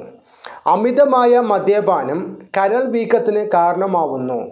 വായി അന്നനാളം കരൾ വൻകുടൽ എന്നിവിടങ്ങളിൽ ക്യാൻസർ ഉണ്ടാവാൻ മദ്യം കാരണമാകുന്നു. ഓക്കെ. ഒരു ഏകകോശ ജീവിക്ക് ഉദാഹരണമാണ് അമീബ. പോഷണ പ്രക്രിയയിലെ ആദ്യ ഘട്ടമാണ് ആഹാര സ്വീകരണം. ആഹാരത്തിൽ അടങ്ങിയ ജൈവ ഘടകങ്ങളെ ശരീരത്തിന് സ്വീകരിക്കാൻ കഴിയുന്ന ലളിത ഘടകങ്ങളാക്കുന്ന പ്രക്രിയയാണ് ദഹനം. ദഹിച്ച ആഹാരം ശരീരം സ്വീകരിക്കുന്ന പ്രക്രിയ ആഗിരണം. ആഗിരണം ചെയ്യപ്പെട്ട ആഹാര ഘടകങ്ങൾ ശരീരത്തിന്റെ ഭാഗമാകുന്ന പ്രക്രിയയാണ് സ്വാംശീകരണം. ആഗിരണം ചെയ്യപ്പെട്ട ആഹാര ഘടകങ്ങൾ ശരീരത്തിന്റെ ഭാഗമാകുന്ന പ്രക്രിയയാണ് സ്വാംശീകരണം. ശാരീരിക പ്രവർത്തനങ്ങളുടെ ഫലമായി ഉണ്ടാവുന്നതും ശരീരത്തിന് ആവശ്യമില്ലാത്തതുമായ വസ്തുക്കളെ ശരീരം പുറന്തള്ളുന്ന പ്രക്രിയയാണ് വിസർജനം ഓക്കെ. ഏതെല്ലാം ഘടകങ്ങളാണ് രക്തത്തിൽ എത്തുന്നത്? ശ്വാസകോശത്തിൽ നിന്ന് ഓക്സിജൻ കോശങ്ങളിൽ നിന്ന് കാർബൺ ഡൈ ഓക്സൈഡ് കരളിൽ നിന്ന് യൂറിയ ചെറുകുടലിൽ നിന്ന് പോഷക ഘടകങ്ങൾ. ഓക്കെ. ശരീരത്തിലെ അരിപ്പകൾ എന്നറിയപ്പെടുന്നത് വൃക്കകളാണ്. ശരീരത്തിലെ പ്രധാന വിസർജന അവയവമാണ് വൃക്ക. രക്തത്തിൽ നിന്ന് യൂറിയ അധികമുള്ള ജലം ലവണങ്ങൾ എന്നിവ അരിച്ചുമാറ്റി മൂത്രരൂപത്തിൽ പുറന്തള്ളുന്നു. മൂത്രത്തിൽ എത്ര ശതമാനം ജലം അടങ്ങിയിരിക്കുന്നു? തൊണ്ണൂറ്റിയാറ് ശതമാനമാണ്. ത്വക്കിലെ വിയർപ്പും മാലിന്യങ്ങളും പുറത്തു വരുന്നത് സൂക്ഷ്മ സുഷിരങ്ങളിലൂടെയാണ്. ത്വക്കിൽ വിയർപ്പ് ഉണ്ടാക്കുന്നത് വിയർപ്പ് ഗ്രന്ഥികളാണ്. ശരീരത്തിൽ അധികമുള്ള ജലവും ലവണങ്ങളും പുറത്തു പോകുന്നത് ഏതിലൂടെയാണ്? വിയർപ്പിലൂടെയാണ്. നമ്മുടെ ശരീരത്തിന്റെ താപനില ക്രമീകരിച്ചു നിർത്താൻ സഹായിക്കുന്നത് വിയർക്കലാണ്. അമിതമായ ജലവും ലവണങ്ങളും ശരീരത്തിൽ നിന്നു നഷ്ടപ്പെടുന്ന അവസ്ഥയാണ് നിർജലീകരണം അമിതമായ ജലവും ലവണങ്ങളും ശരീരത്തിൽ നിന്നു നഷ്ടപ്പെടുന്ന അവസ്ഥയാണ് നിർജലീകരണം സസ്യ ശരീരത്തിലെ മാലിന്യങ്ങൾ പുറത്തു കളയാൻ സസ്യങ്ങൾ സ്വീകരിക്കുന്ന മാർഗങ്ങളാണ് മാലിന്യം തൊലിയിൽ സംഭരിച്ചു വയ്ക്കുകയും അവ പിന്നീട് അടർന്നു പോവുകയും ചെയ്യുന്നു. കാണ്ടത്തിൽ നിന്ന് പൊട്ടിയൊഴുകുന്ന കറകളിലൂടെ മാലിന്യം പുറത്തു കളയുന്നു. ഓക്കെ അടുത്ത പാഠം അഞ്ച്. വൈദ്യുതി പ്രവഹിക്കുമ്പോൾ. വൈദ്യുതി കടത്തിവിടുന്ന വസ്തുക്കളെ പറയുന്നത് ചാലകങ്ങൾ എന്നാണ്. വൈദ്യുതി കടത്തിവിടാത്ത വസ്തുക്കളെ പറയുന്നത് ഇൻസുലേറ്റർ എന്നാണ്. വൈദ്യുതി കടത്തിവിടുന്ന വസ്തുക്കളെ പറയുന്നത് ചാലകങ്ങൾ എന്നും വൈദ്യുതി കടത്തിവിടാത്ത വസ്തുക്കളെ പറയുന്നത് ഇൻസുലേറ്റർ എന്നുമാണ്. Safety fuse. വൈദ്യുതി പ്രവഹിക്കുന്ന സർക്യൂട്ടുകളിൽ സുരക്ഷിതത്വം ഉറപ്പുവരുത്തി ഉപകരണങ്ങൾ പ്രവർത്തിക്കുന്നതിനായി സർക്യൂട്ടുകളിൽ ഉപയോഗിക്കുന്ന ഒരു ഉപായമാണ് സേഫ്റ്റി ഫ്യൂസ്. ഇങ്ങനെയും പറയാം. അനുവദനീയമായതിലും കൂടുതൽ വൈദ്യുതി ഒഴുകി സർക്യൂട്ടും വൈദ്യോപകരണങ്ങളും തകരാറാകാതിരിക്കാൻ മുൻകരുതലായി സർക്യൂട്ടിൽ ഉൾപ്പെടുത്തുന്നവയാണ് safety fuse. Okay M C B. ഇപ്പോൾ ഫ്യൂസിന് പകരം വീടുകളിൽ എം സി ബി ഉപയോഗിക്കുന്നു. വൈദ്യുതപ്രവാഹം അമിതമാവുമ്പോൾ ഈ സംവിധാനം സർക്യൂട്ട് വിച്ഛേദിക്കുന്നു. വൈദ്യുതി പ്രവഹിക്കുന്ന ചാലകത്തിന് ചുറ്റും ഒരു കാന്തിക മണ്ഡലം രൂപപ്പെടുന്നുണ്ട് എന്ന് കണ്ടെത്തിയ ശാസ്ത്രജ്ഞനാണ് ക്രിസ്ത്യൻ ഈസ്റ്റഡ്. വൈദ്യുതി പ്രവഹിക്കുന്ന ചാലകത്തിന് ചുറ്റും ഒരു കാന്തിക മണ്ഡലം രൂപപ്പെടുന്നുണ്ട് എന്ന് കണ്ടെത്തിയ ശാസ്ത്രജ്ഞനാണ് ക്രിസ്ത്യൻ ഈസ്റ്റഡ്. വൈദ്യുതിയും കാന്തികതയും തമ്മിലുള്ള ബന്ധം പ്രയോജനപ്പെടുത്തിയാണ് വൈദ്യുതകാന്തങ്ങൾ നിർമ്മിക്കുന്നത്. വൈദ്യുതിയും കാന്തികതയും തമ്മിലുള്ള ബന്ധം പ്രയോജനപ്പെടുത്തിയാണ് വൈദ്യുതകാന്തങ്ങൾ നിർമ്മിക്കുന്നത്. വൈദ്യുതകാന്തം ഉപയോഗപ്പെടുത്തുന്ന ഉപകരണങ്ങൾക്ക് ഉദാഹരണങ്ങളാണ് വൈദ്യുത ഫാൻ ഇലക്ട്രിക് ബെൽ വൈദ്യുത മോട്ടർ എന്നിവ. ജലവൈദ്യുത നിലയത്തിൽ വൈദ്യുതി ഉൽപ്പാദിപ്പിക്കുന്നത് അണകെട്ടി നിർത്തിയ ജലത്തിന്റെ ഊർജം ഉപയോഗിച്ചാണ്. ഉയരത്തിൽ അണകെട്ടി നിർത്തിയ ജലം വളരെ താഴ്ചയിൽ സ്ഥാപിച്ചിരിക്കുന്ന ടർബനിലേക്ക് എത്തുന്നത് പെൻസ്റ്റോക്ക് പൈപ്പിലൂടെയാണ്. ഒഴുകുന്ന ജലത്തിന്റെ ഊർജം ഉപയോഗിച്ച് ടർബൈൻ കറങ്ങി ജനറേറ്ററിനെ പ്രവർത്തിപ്പിച്ചാണ് വൈദ്യുതി ഉൽപ്പാദിപ്പിക്കുന്നത്. വൈദ്യോപകരണങ്ങളിൽ നക്ഷത്ര ചിഹ്നങ്ങൾ അടയാളപ്പെടുത്തുന്നത് ഉപകരണത്തിന്റെ ഊർജക്ഷമതയെ സൂചിപ്പിക്കാനാണ്. വൈദ്യുതോപകരണങ്ങളിൽ നക്ഷത്ര ചിഹ്നങ്ങൾ അടയാളപ്പെടുത്തുന്നത് അല്ലെങ്കിൽ നക്ഷത്രങ്ങളുടെ എണ്ണം അടയാളപ്പെടുത്തുന്നത് ഉപകരണത്തിന്റെ ഊർജക്ഷമതയെ സൂചിപ്പിക്കാനാണ്. ഓക്കെ. ഷോക്കേറ്റയാളെ രക്ഷിക്കാൻ നാം ഉടനടി എന്താണ് ചെയ്യേണ്ടത്? വൈദ്യുതി ബന്ധം വിച്ഛേദിക്കുകയാണ് ചെയ്യേണ്ടത്. കേരളത്തിൽ ഏറ്റവും കൂടുതൽ വൈദ്യുതി ഉൽപ്പാദിപ്പിക്കുന്ന വൈദ്യുതി നിലയമാണ് ഇടുക്കി ജലവൈദ്യുതി നിലയം. കേരളത്തിൽ ഏറ്റവും കൂടുതൽ വൈദ്യുതി ഉൽപ്പാദിപ്പിക്കുന്ന വൈദ്യുതി നിലയമാണ് ഇടുക്കി ജലവൈദ്യുതി നിലയം. ഓക്കെ അടുത്ത പാഠം ആറ് നിർമ്മലമായ പ്രകൃതിക്കായി. ഹൈഡ്രജൻ പെറോക്സൈഡ് വിഘടിച്ച് സ്വതന്ത്രമാകുന്ന വാതകമാണ് ഓക്സിജൻ. ഹൈഡ്രജൻ പെറോക്സൈഡ് വിഘടിച്ച് സ്വതന്ത്രമാകുന്ന വാതകമാണ് ഓക്സിജൻ. ജൈവാംശം കൂടുതലുള്ള മണ്ണിൽ ഹൈഡ്രജൻ പെറോക്സൈഡ് വേഗത്തിൽ വിഘടിക്കും. ജൈവാംശം കൂടുതലുള്ള മണ്ണിൽ ഹൈഡ്രജൻ പെറോക്സൈഡ് വേഗത്തിൽ വിഘടിക്കും. മണ്ണിലെ ജലാംശത്തിൽ വ്യത്യാസമുണ്ടാവാൻ കാരണങ്ങൾ ജല ലഭ്യത ബാഷ്പീകരണ നിരക്കിലെ വ്യത്യാസം ജലം സംഭരിച്ചു വയ്ക്കാനുള്ള ശേഷിയിലെ വ്യത്യാസം ജൈവാംശത്തിന്റെ അളവിലെ വ്യത്യാസം എന്നിവയാണ്. ജലസ്രോതസ് ശതമാനം സമുദ്ര ജലത്തിന്റെ ശതമാനം തൊണ്ണൂറ്റിയാറ് പോയിന്റ് അഞ്ച് ശതമാനം മഞ്ഞുപാളി ഒന്ന് പോയിന്റ് ഏഴ് മൂന്ന് ശതമാനം ഭൂഗർഭജലം ഒന്ന് പോയിന്റ് ആറ് ഒൻപത് ശതമാനം അന്തരീക്ഷം തടാകം എന്നിവയുടെ ശതമാനം പോയിന്റ് പൂജ്യം പൂജ്യം ഒന്ന് ശതമാനമാണ്. മറ്റുള്ളവയുടെ പോയിന്റ് പൂജ്യം ഏഴ് എട്ട് ശതമാനമാണ്. ഓക്കെ. ശുദ്ധജലത്തിന്റെ പി എച്ച് എത്രയാണ്? ഏഴാണ്. നമ്മൾ മുമ്പ് പഠിച്ചു. അതായത് ശുദ്ധജലത്തിന് നിർവീര്യ സ്വഭാവമാണ് ഉള്ളത്. കുടിവെള്ളമായി ഉപയോഗിക്കുന്ന വെള്ളത്തിന്റെ പി എച്ച് എത്രയാണ്? ആറ് പോയിന്റ് അഞ്ച് മുതൽ ഏഴ് പോയിന്റ് അഞ്ച് വരെയാണ്. കുടിവെള്ളമായി ഉപയോഗിക്കുന്ന വെള്ളത്തിന്റെ പി എച്ച് എത്രയാണ്? ആറ് പോയിന്റ് അഞ്ച് മുതൽ ഏഴ് പോയിന്റ് അഞ്ച് വരെ. വിസർജ്യ വസ്തുക്കളിലൂടെ ജലത്തിൽ എത്തുന്ന ഈ കോളി ബാക്ടീരിയയുടെ സാന്നിധ്യം ഏത് രോഗത്തിന് കാരണമാകുന്നു? ഡയേറിയ എന്ന രോഗത്തിന് കാരണമാകുന്നു. വിസർജ്യ വസ്തുക്കളിലൂടെ ജലത്തിൽ എത്തുന്ന ഈ കോളി ബാക്ടീരിയയുടെ സാന്നിധ്യം. ഈ കോളി ബാക്ടീരിയയുടെ സാന്നിധ്യം ഏത് രോഗത്തിന് കാരണമാകുന്നു? ഡയേറിയ എന്ന രോഗത്തിന് കാരണമാകുന്നു. കുടിവെള്ളത്തിലൂടെ പകരുന്ന രോഗങ്ങളാണ് ഡയേറിയ ടൈഫോയിഡ് കോളറ ഡിസെൻട്രി മഞ്ഞപ്പിത്തം എന്നിവ. കുടിവെള്ളത്തിലൂടെ പകരുന്ന രോഗങ്ങളാണ് ഡയേറിയ ടൈഫോയിഡ് കോളറ ഡിസെൻട്രി മഞ്ഞപ്പിത്തം എന്നിവ. ജലശുദ്ധീകരണശാല. ജലം എയറേറ്ററിൽ വരുന്നു.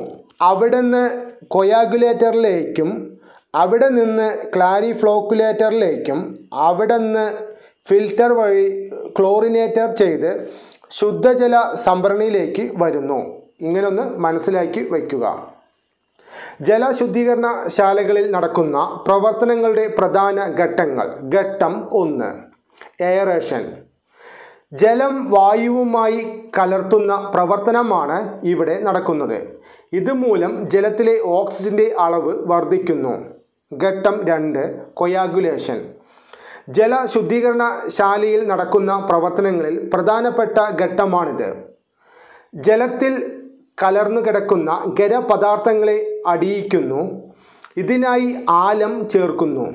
ആലം ചേർക്കുമ്പോൾ ജലത്തിന്റെ പി എച്ച് മൂല്യം കുറയുന്നു. പി എച്ച് ക്രമീകരിക്കുന്നതിനായി കുമ്മായം ചേർക്കുന്നു.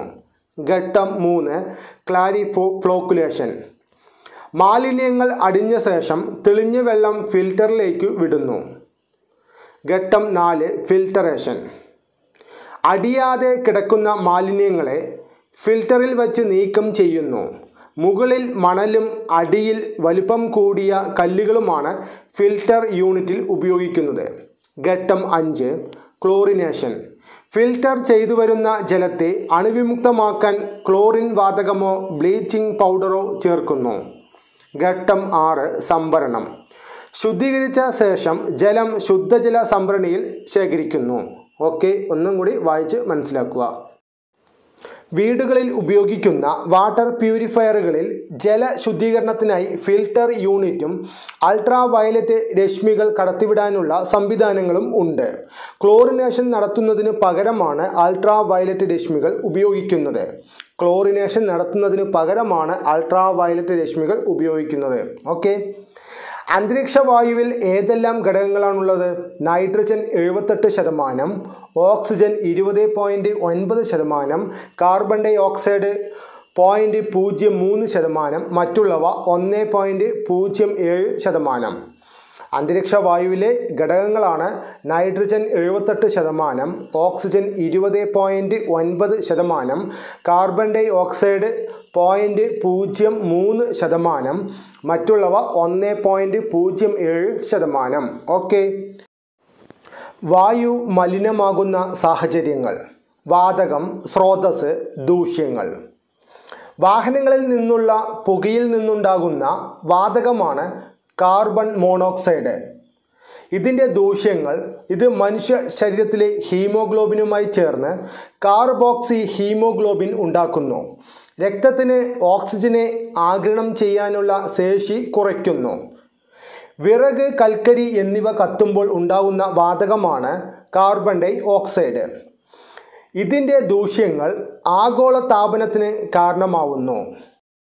ഫാക്ടറികളിൽ നിന്ന് ഉണ്ടാകുന്ന വാതകമാണ് സൾഫർ ഡൈ ഓക്സൈഡ് ഇതിന്റെ ദൂഷ്യങ്ങൾ കണ്ണിന് അസ്വസ്ഥത ശ്വാസകോശ അർബുദം ആസ്ത്മ എന്നിവയ്ക്ക് കാരണമാവുന്നു. വാഹനങ്ങളിൽ നിന്ന് ഫാക്ടറികളിൽ നിന്ന് ഉണ്ടാകുന്ന വാതകമാണ് നൈട്രജന്റെ ഓക്സൈഡുകൾ. ഇതിന്റെ ദൂഷ്യങ്ങൾ അമ്ലമഴയ്ക്ക് കാരണമാകുന്നു. ഓക്കെ അടുത്ത പാഠം ഏഴ് മർദ്ദം ദ്രാവകത്തിലും വാതകത്തിലും. വായുവിന്റെ ചില പ്രത്യേകതകൾ. വായുവിന് സ്ഥിതി ചെയ്യാൻ സ്ഥലം ആവശ്യമാണ്. വായുവിന് ഭാരമുണ്ട്.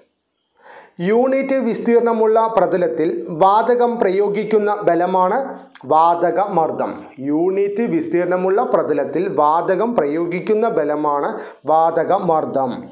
അന്തരീക്ഷവായു യൂണിറ്റ് വിസ്തീർണത്തിൽ പ്രയോഗിക്കുന്ന ബലത്തെ അന്തരീക്ഷമർദ്ദം എന്ന് പറയുന്നു. അന്തരീക്ഷവായു യൂണിറ്റ് വിസ്തീർണത്തിൽ പ്രയോഗിക്കുന്ന ബലത്തെ അന്തരീക്ഷമർദ്ദം എന്ന് പറയുന്നു. അന്തരീക്ഷമർദ്ദം അളക്കാൻ ഉപയോഗിക്കുന്ന ഉപകരണമാണ് ബാരോമീറ്റർ. അന്തരീക്ഷമർദ്ദം അളക്കാൻ ഉപയോഗിക്കുന്ന ഉപകരണമാണ് ബാരോമീറ്റർ. ആദ്യമായി ബാരോമീറ്റർ നിർമ്മിച്ച് അന്തരീക്ഷമർദ്ദം അളന്ന ഇറ്റലിക്കാരനായ ശാസ്ത്രജ്ഞൻ ആരാണ്? Evangelista Torricelli. ആദ്യമായി ബാരോമീറ്റർ നിർമ്മിച്ച് അന്തരീക്ഷമർദ്ദം അളന്ന ഇറ്റലിക്കാരനായ ശാസ്ത്രജ്ഞൻ ആരാണ്? Evangelista Torricelli. ടോറിസെല്ലി ബാരോമീറ്റർ നിർമ്മിച്ച വർഷം ഏതാണ്? ആയിരത്തി അറുന്നൂറ്റി നാൽപ്പത്തി നാലാണ് ടോറസെല്ലി ബാരോമീറ്റർ നിർമ്മിച്ച വർഷമാണ് ആയിരത്തി അറുന്നൂറ്റി നാൽപ്പത്തി നാല് ആരുടെ നിർദ്ദേശം അനുസരിച്ചാണ് ടോറസെല്ലി മെർക്കുറി ഉപയോഗപ്പെടുത്തി ബാരോമീറ്ററിന്റെ തത്വം ആവിഷ്കരിച്ചത്? ഗലീലിയോയുടെ നിർദ്ദേശപ്രകാരമാണ്.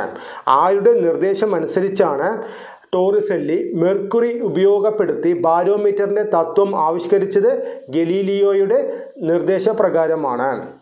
അന്തരീക്ഷ മർദ്ദത്തിൽ ഉണ്ടാകുന്ന വ്യത്യാസം മൂലമാണ് ട്യൂബിലെ മെർക്കുറിയുടെ നിരപ്പ് മാറുന്നത്. അന്തരീക്ഷ മർദ്ദത്തിൽ ഉണ്ടാകുന്ന വ്യത്യാസം മൂലമാണ് ട്യൂബിലെ മെർക്കുറിയുടെ നിരപ്പ് മാറുന്നത്.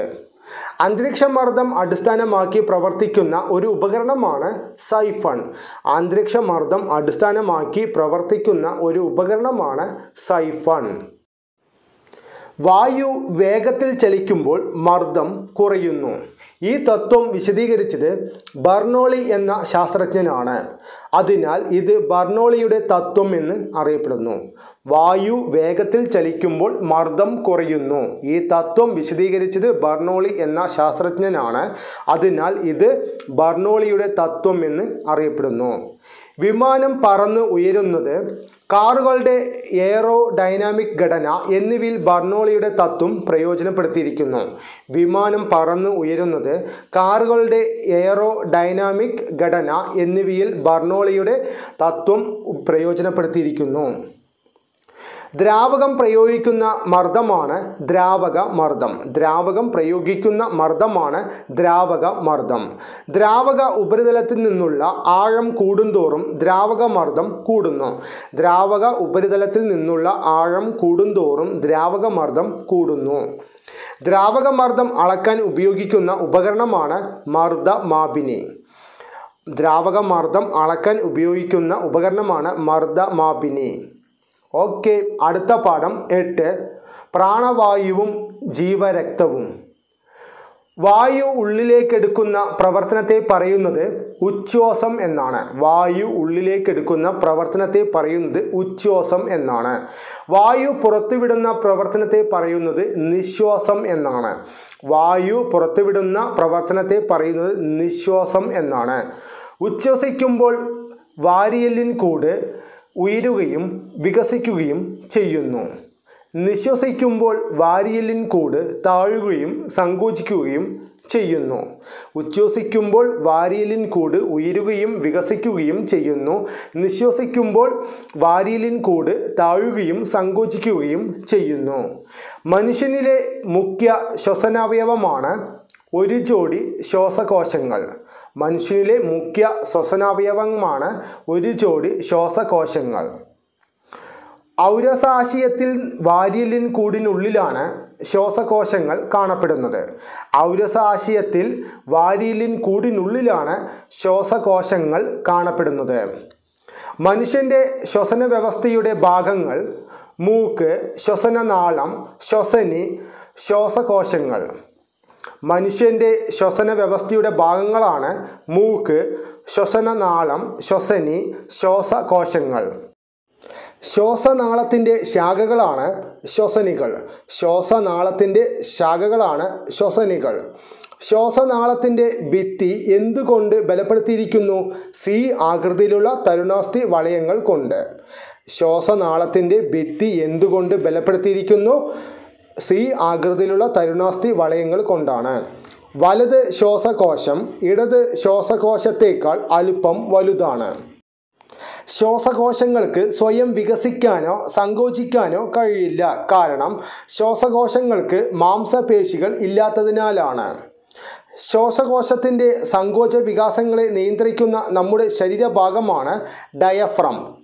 ശ്വാസകോശത്തിന്റെ സങ്കോച വികാസങ്ങളെ നിയന്ത്രിക്കുന്ന നമ്മുടെ ശരീരഭാഗമാണ് ഡയഫ്രം. ഔരസാശയത്തിന്റെ അടിത്തട്ടിലെ മാംസപേശികളുടെ പാളിയായ ഡയഫ്രവും വാരിയലിനോട് ചേർന്ന് കാണപ്പെടുന്ന മാംസപേശികളും ആണ് ശ്വാസകോശത്തിന്റെ സങ്കോച വികാസങ്ങൾ സാധ്യമാക്കുന്നത്. ഓക്കെ ഉച്ഛ്വാസം നിശ്വാസം. ഉച്ഛ്വാസ സമയത്ത് ഔരസാശയത്തിന്റെ വ്യാപ്തി വർദ്ധിക്കുന്നു. ഔരസാശയത്തിലെ വായുമർദ്ദം കുറയുന്നു. വായു ശ്വാസകോശത്തിലേക്കു പ്രവേശിക്കുന്നു. നിശ്വാസ സമയത്ത് ഡയഫ്രം പൂർവസ്ഥിതിയിലാകുന്നു ഔരസാശയത്തിലെ വായുമർദ്ദം കൂടുന്നു. ശ്വാസകോശത്തിൽ നിന്നു വായു പുറന്തള്ളപ്പെടുന്നു. ഓക്കെ. ഉച്ഛ്വാസവായു അളവ് നിശ്വാസവായു അളവ് ശതമാനത്തിൽ. ഓക്കെ. ഓക്സിജൻ ഇരുപത്തൊന്ന് ശതമാനം ഉച്ഛ്വാസവായുവിലാണ്. ഓക്സിജൻ ഇരുപത്തൊന്ന് ശതമാനം. കാർബൺ ഡൈ ഓക്സൈഡ് പോയിന്റ് പൂജ്യം നാല് ശതമാനം. നൈട്രജൻ എഴുപത്തെട്ട് ശതമാനം. ജലബാഷ്പം പോയിന്റ് ഒൻപത് ആറ് ശതമാനം. നിശ്വാസവായു. ഓക്സിജൻ പതിനഞ്ച് ശതമാനം. കാർബൺ ഡൈ ഓക്സൈഡ് നാല് ശതമാനം. നൈട്രജൻ എഴുപത്തെട്ട് ശതമാനം. ജലബാഷ്പം മൂന്ന് ശതമാനം. ഓക്കെ? ചുണ്ണാമ്പ് വെള്ളത്തിന്റെ രാസനാമം കാൽസ്യം ഹൈഡ്രോക്സൈഡ് ആണ് തെളിഞ്ഞ ചുണ്ണാമ്പ് വെള്ളത്തിലേക്ക് കാർബൺ ഡൈ ഓക്സൈഡ് വാതകം കടത്തിവിടുമ്പോൾ ഉണ്ടാവുന്നത് കാൽസ്യം കാർബണേറ്റ് ഉണ്ടാവുന്നു. അതായത് തെളിഞ്ഞ ചുണ്ണാമ്പ് വെള്ളം വെളുത്ത നിറമായി മാറുന്നു. പ്രത്യേക ശ്വസനാവയവം ഇല്ലാത്ത ഏകകോശ ജീവിയാണ് അമീബ. അമീബയിൽ വായു അകത്തേക്കും പുറത്തേക്കും വ്യാപിക്കുന്നത് കോശസ്തരത്തിലൂടെയാണ് പ്രത്യേക ശ്വസനാവയവം ഇല്ലാത്ത ഏകകോശ ജീവിയാണ് അമീബ. അമീബയിൽ വായു അകത്തേക്കും പുറത്തേക്കും വ്യാപിക്കുന്നത് കോശസ്തരത്തിലൂടെയാണ് മണ്ണിരിയുടെ ശ്വസനാവയവം ഏതാണ്? ഈർപ്പമുള്ള ത്വക്കാണ്. മണ്ണിരിയുടെ ശ്വസനാവയവമാണ് ഈർപ്പമുള്ള ത്വക്ക്. ഷഡ്പദങ്ങളുടെ ശ്വസനാവയവം ഏതാണ്? നാളികാജാലമാണ്. ഷഡ്പദങ്ങളുടെ ശ്വസനാവയവമാണ് നാളികാജാലം. മത്സ്യങ്ങളുടെ ശ്വസനാവയവമാണ് ചെകിളപ്പൂക്കൾ അതായത് ശകുലങ്ങൾ. മത്സ്യങ്ങളുടെ ശ്വസനാവയവമാണ് ചെകിളപ്പൂക്കൾ അതായത് ശകുലങ്ങൾ. കരിയിലാകുമ്പോൾ ശ്വാസകോശം വഴിയും വെള്ളത്തിലാകുമ്പോൾ തൊക്കിലൂടെയും ശ്വസനം നടത്താൻ കഴിയുന്ന ജീവികളാണ് ഉഭയജീവികൾ എന്ന് അറിയപ്പെടുന്നത്. കരിയിലാകുമ്പോൾ ശ്വാസകോശം വഴിയും വെള്ളത്തിലാകുമ്പോൾ ത്വക്കിലൂടെയും ശ്വസനം നടത്താൻ കഴിയുന്ന ജീവികളാണ് ഉഭയജീവികൾ. സസ്യങ്ങൾ പ്രകാശ സംശ്ലേഷണത്തിനു വേണ്ടി വലിച്ചെടുക്കുന്ന വാതകമാണ് കാർബൺ ഡൈ ഓക്സൈഡ് സസ്യങ്ങൾ പ്രകാശ സംശ്ലേഷണത്തിനു വേണ്ടി വലിച്ചെടുക്കുന്ന വാതകമാണ് കാർബൺ ഡൈ ഓക്സൈഡ് സസ്യങ്ങൾ ശ്വസിക്കുന്ന വാതകം ഏതാണ്? ഓക്സിജനാണ്. സസ്യങ്ങൾ ശ്വസിക്കുന്ന വാതകം ഓക്സിജനാണ്. സസ്യങ്ങളും അവയുടെ പരിസരത്ത് നിന്ന് ഓക്സിജൻ സ്വീകരിക്കുകയും കാർബൺ ഡൈ ഓക്സൈഡ് പുറന്തള്ളുകയും ചെയ്യുന്നത് ഏതു വഴിയാണ്? ഇലയിലെ സൂക്ഷ്മ സുഷിരങ്ങളായ ആസ്യരന്ധ്രങ്ങൾ വഴിയാണ്. ജന്തുക്കളെ അപേക്ഷിച്ച് സസ്യങ്ങളിൽ ശ്വസന നിരക്ക് കുറവാണ്. ജീവികൾ അവയുടെ പരിസരത്തു നിന്ന് ഓക്സിജൻ സ്വീകരിക്കുകയും കാർബൺ ഡൈ ഓക്സൈഡ് പുറത്തുവിടുകയും ചെയ്യുന്ന പ്രക്രിയയാണ് ശ്വസനം. ശരീരത്തിലെ എല്ലാ കോശങ്ങൾക്കും ഓക്സിജൻ എത്തിച്ചു കൊടുക്കുകയും കോശങ്ങളിൽ നിന്ന് കാർബൺ ഡൈ ഓക്സൈഡ് സ്വീകരിച്ച് അതിനെ ശ്വാസകോശത്തിലെത്തിക്കുകയും ചെയ്യുന്നത് രക്തമാണ്. ശരീരത്തിലെ എല്ലാ കോശങ്ങൾക്കും ഓക്സിജൻ എത്തിച്ചു കൊടുക്കുകയും കോശങ്ങളിൽ നിന്ന് കാർബൺ ഡൈ ഓക്സൈഡ് സ്വീകരിച്ച് അതിനെ ശ്വാസകോശത്തിലെത്തിക്കുകയും ചെയ്യുന്നത് രക്തമാണ്. ദഹിച്ച ആഹാര ഘടകങ്ങളെ ചെറുകുടലിൽ നിന്ന് കോശങ്ങളിൽ എത്തിക്കുന്നത് രക്തമാണ്. ദഹിച്ച ആഹാര ഘടകങ്ങളെ ചെറുകുടലിൽ നിന്ന് കോശങ്ങളിൽ എത്തിക്കുന്നത് രക്തമാണ്. കോശങ്ങളിൽ എത്തുന്ന ആഹാര ഘടകങ്ങളെ വിഘടിപ്പിച്ച് ഊർജം സ്വതന്ത്രമാക്കുന്നത് ഓക്സിജനാണ്.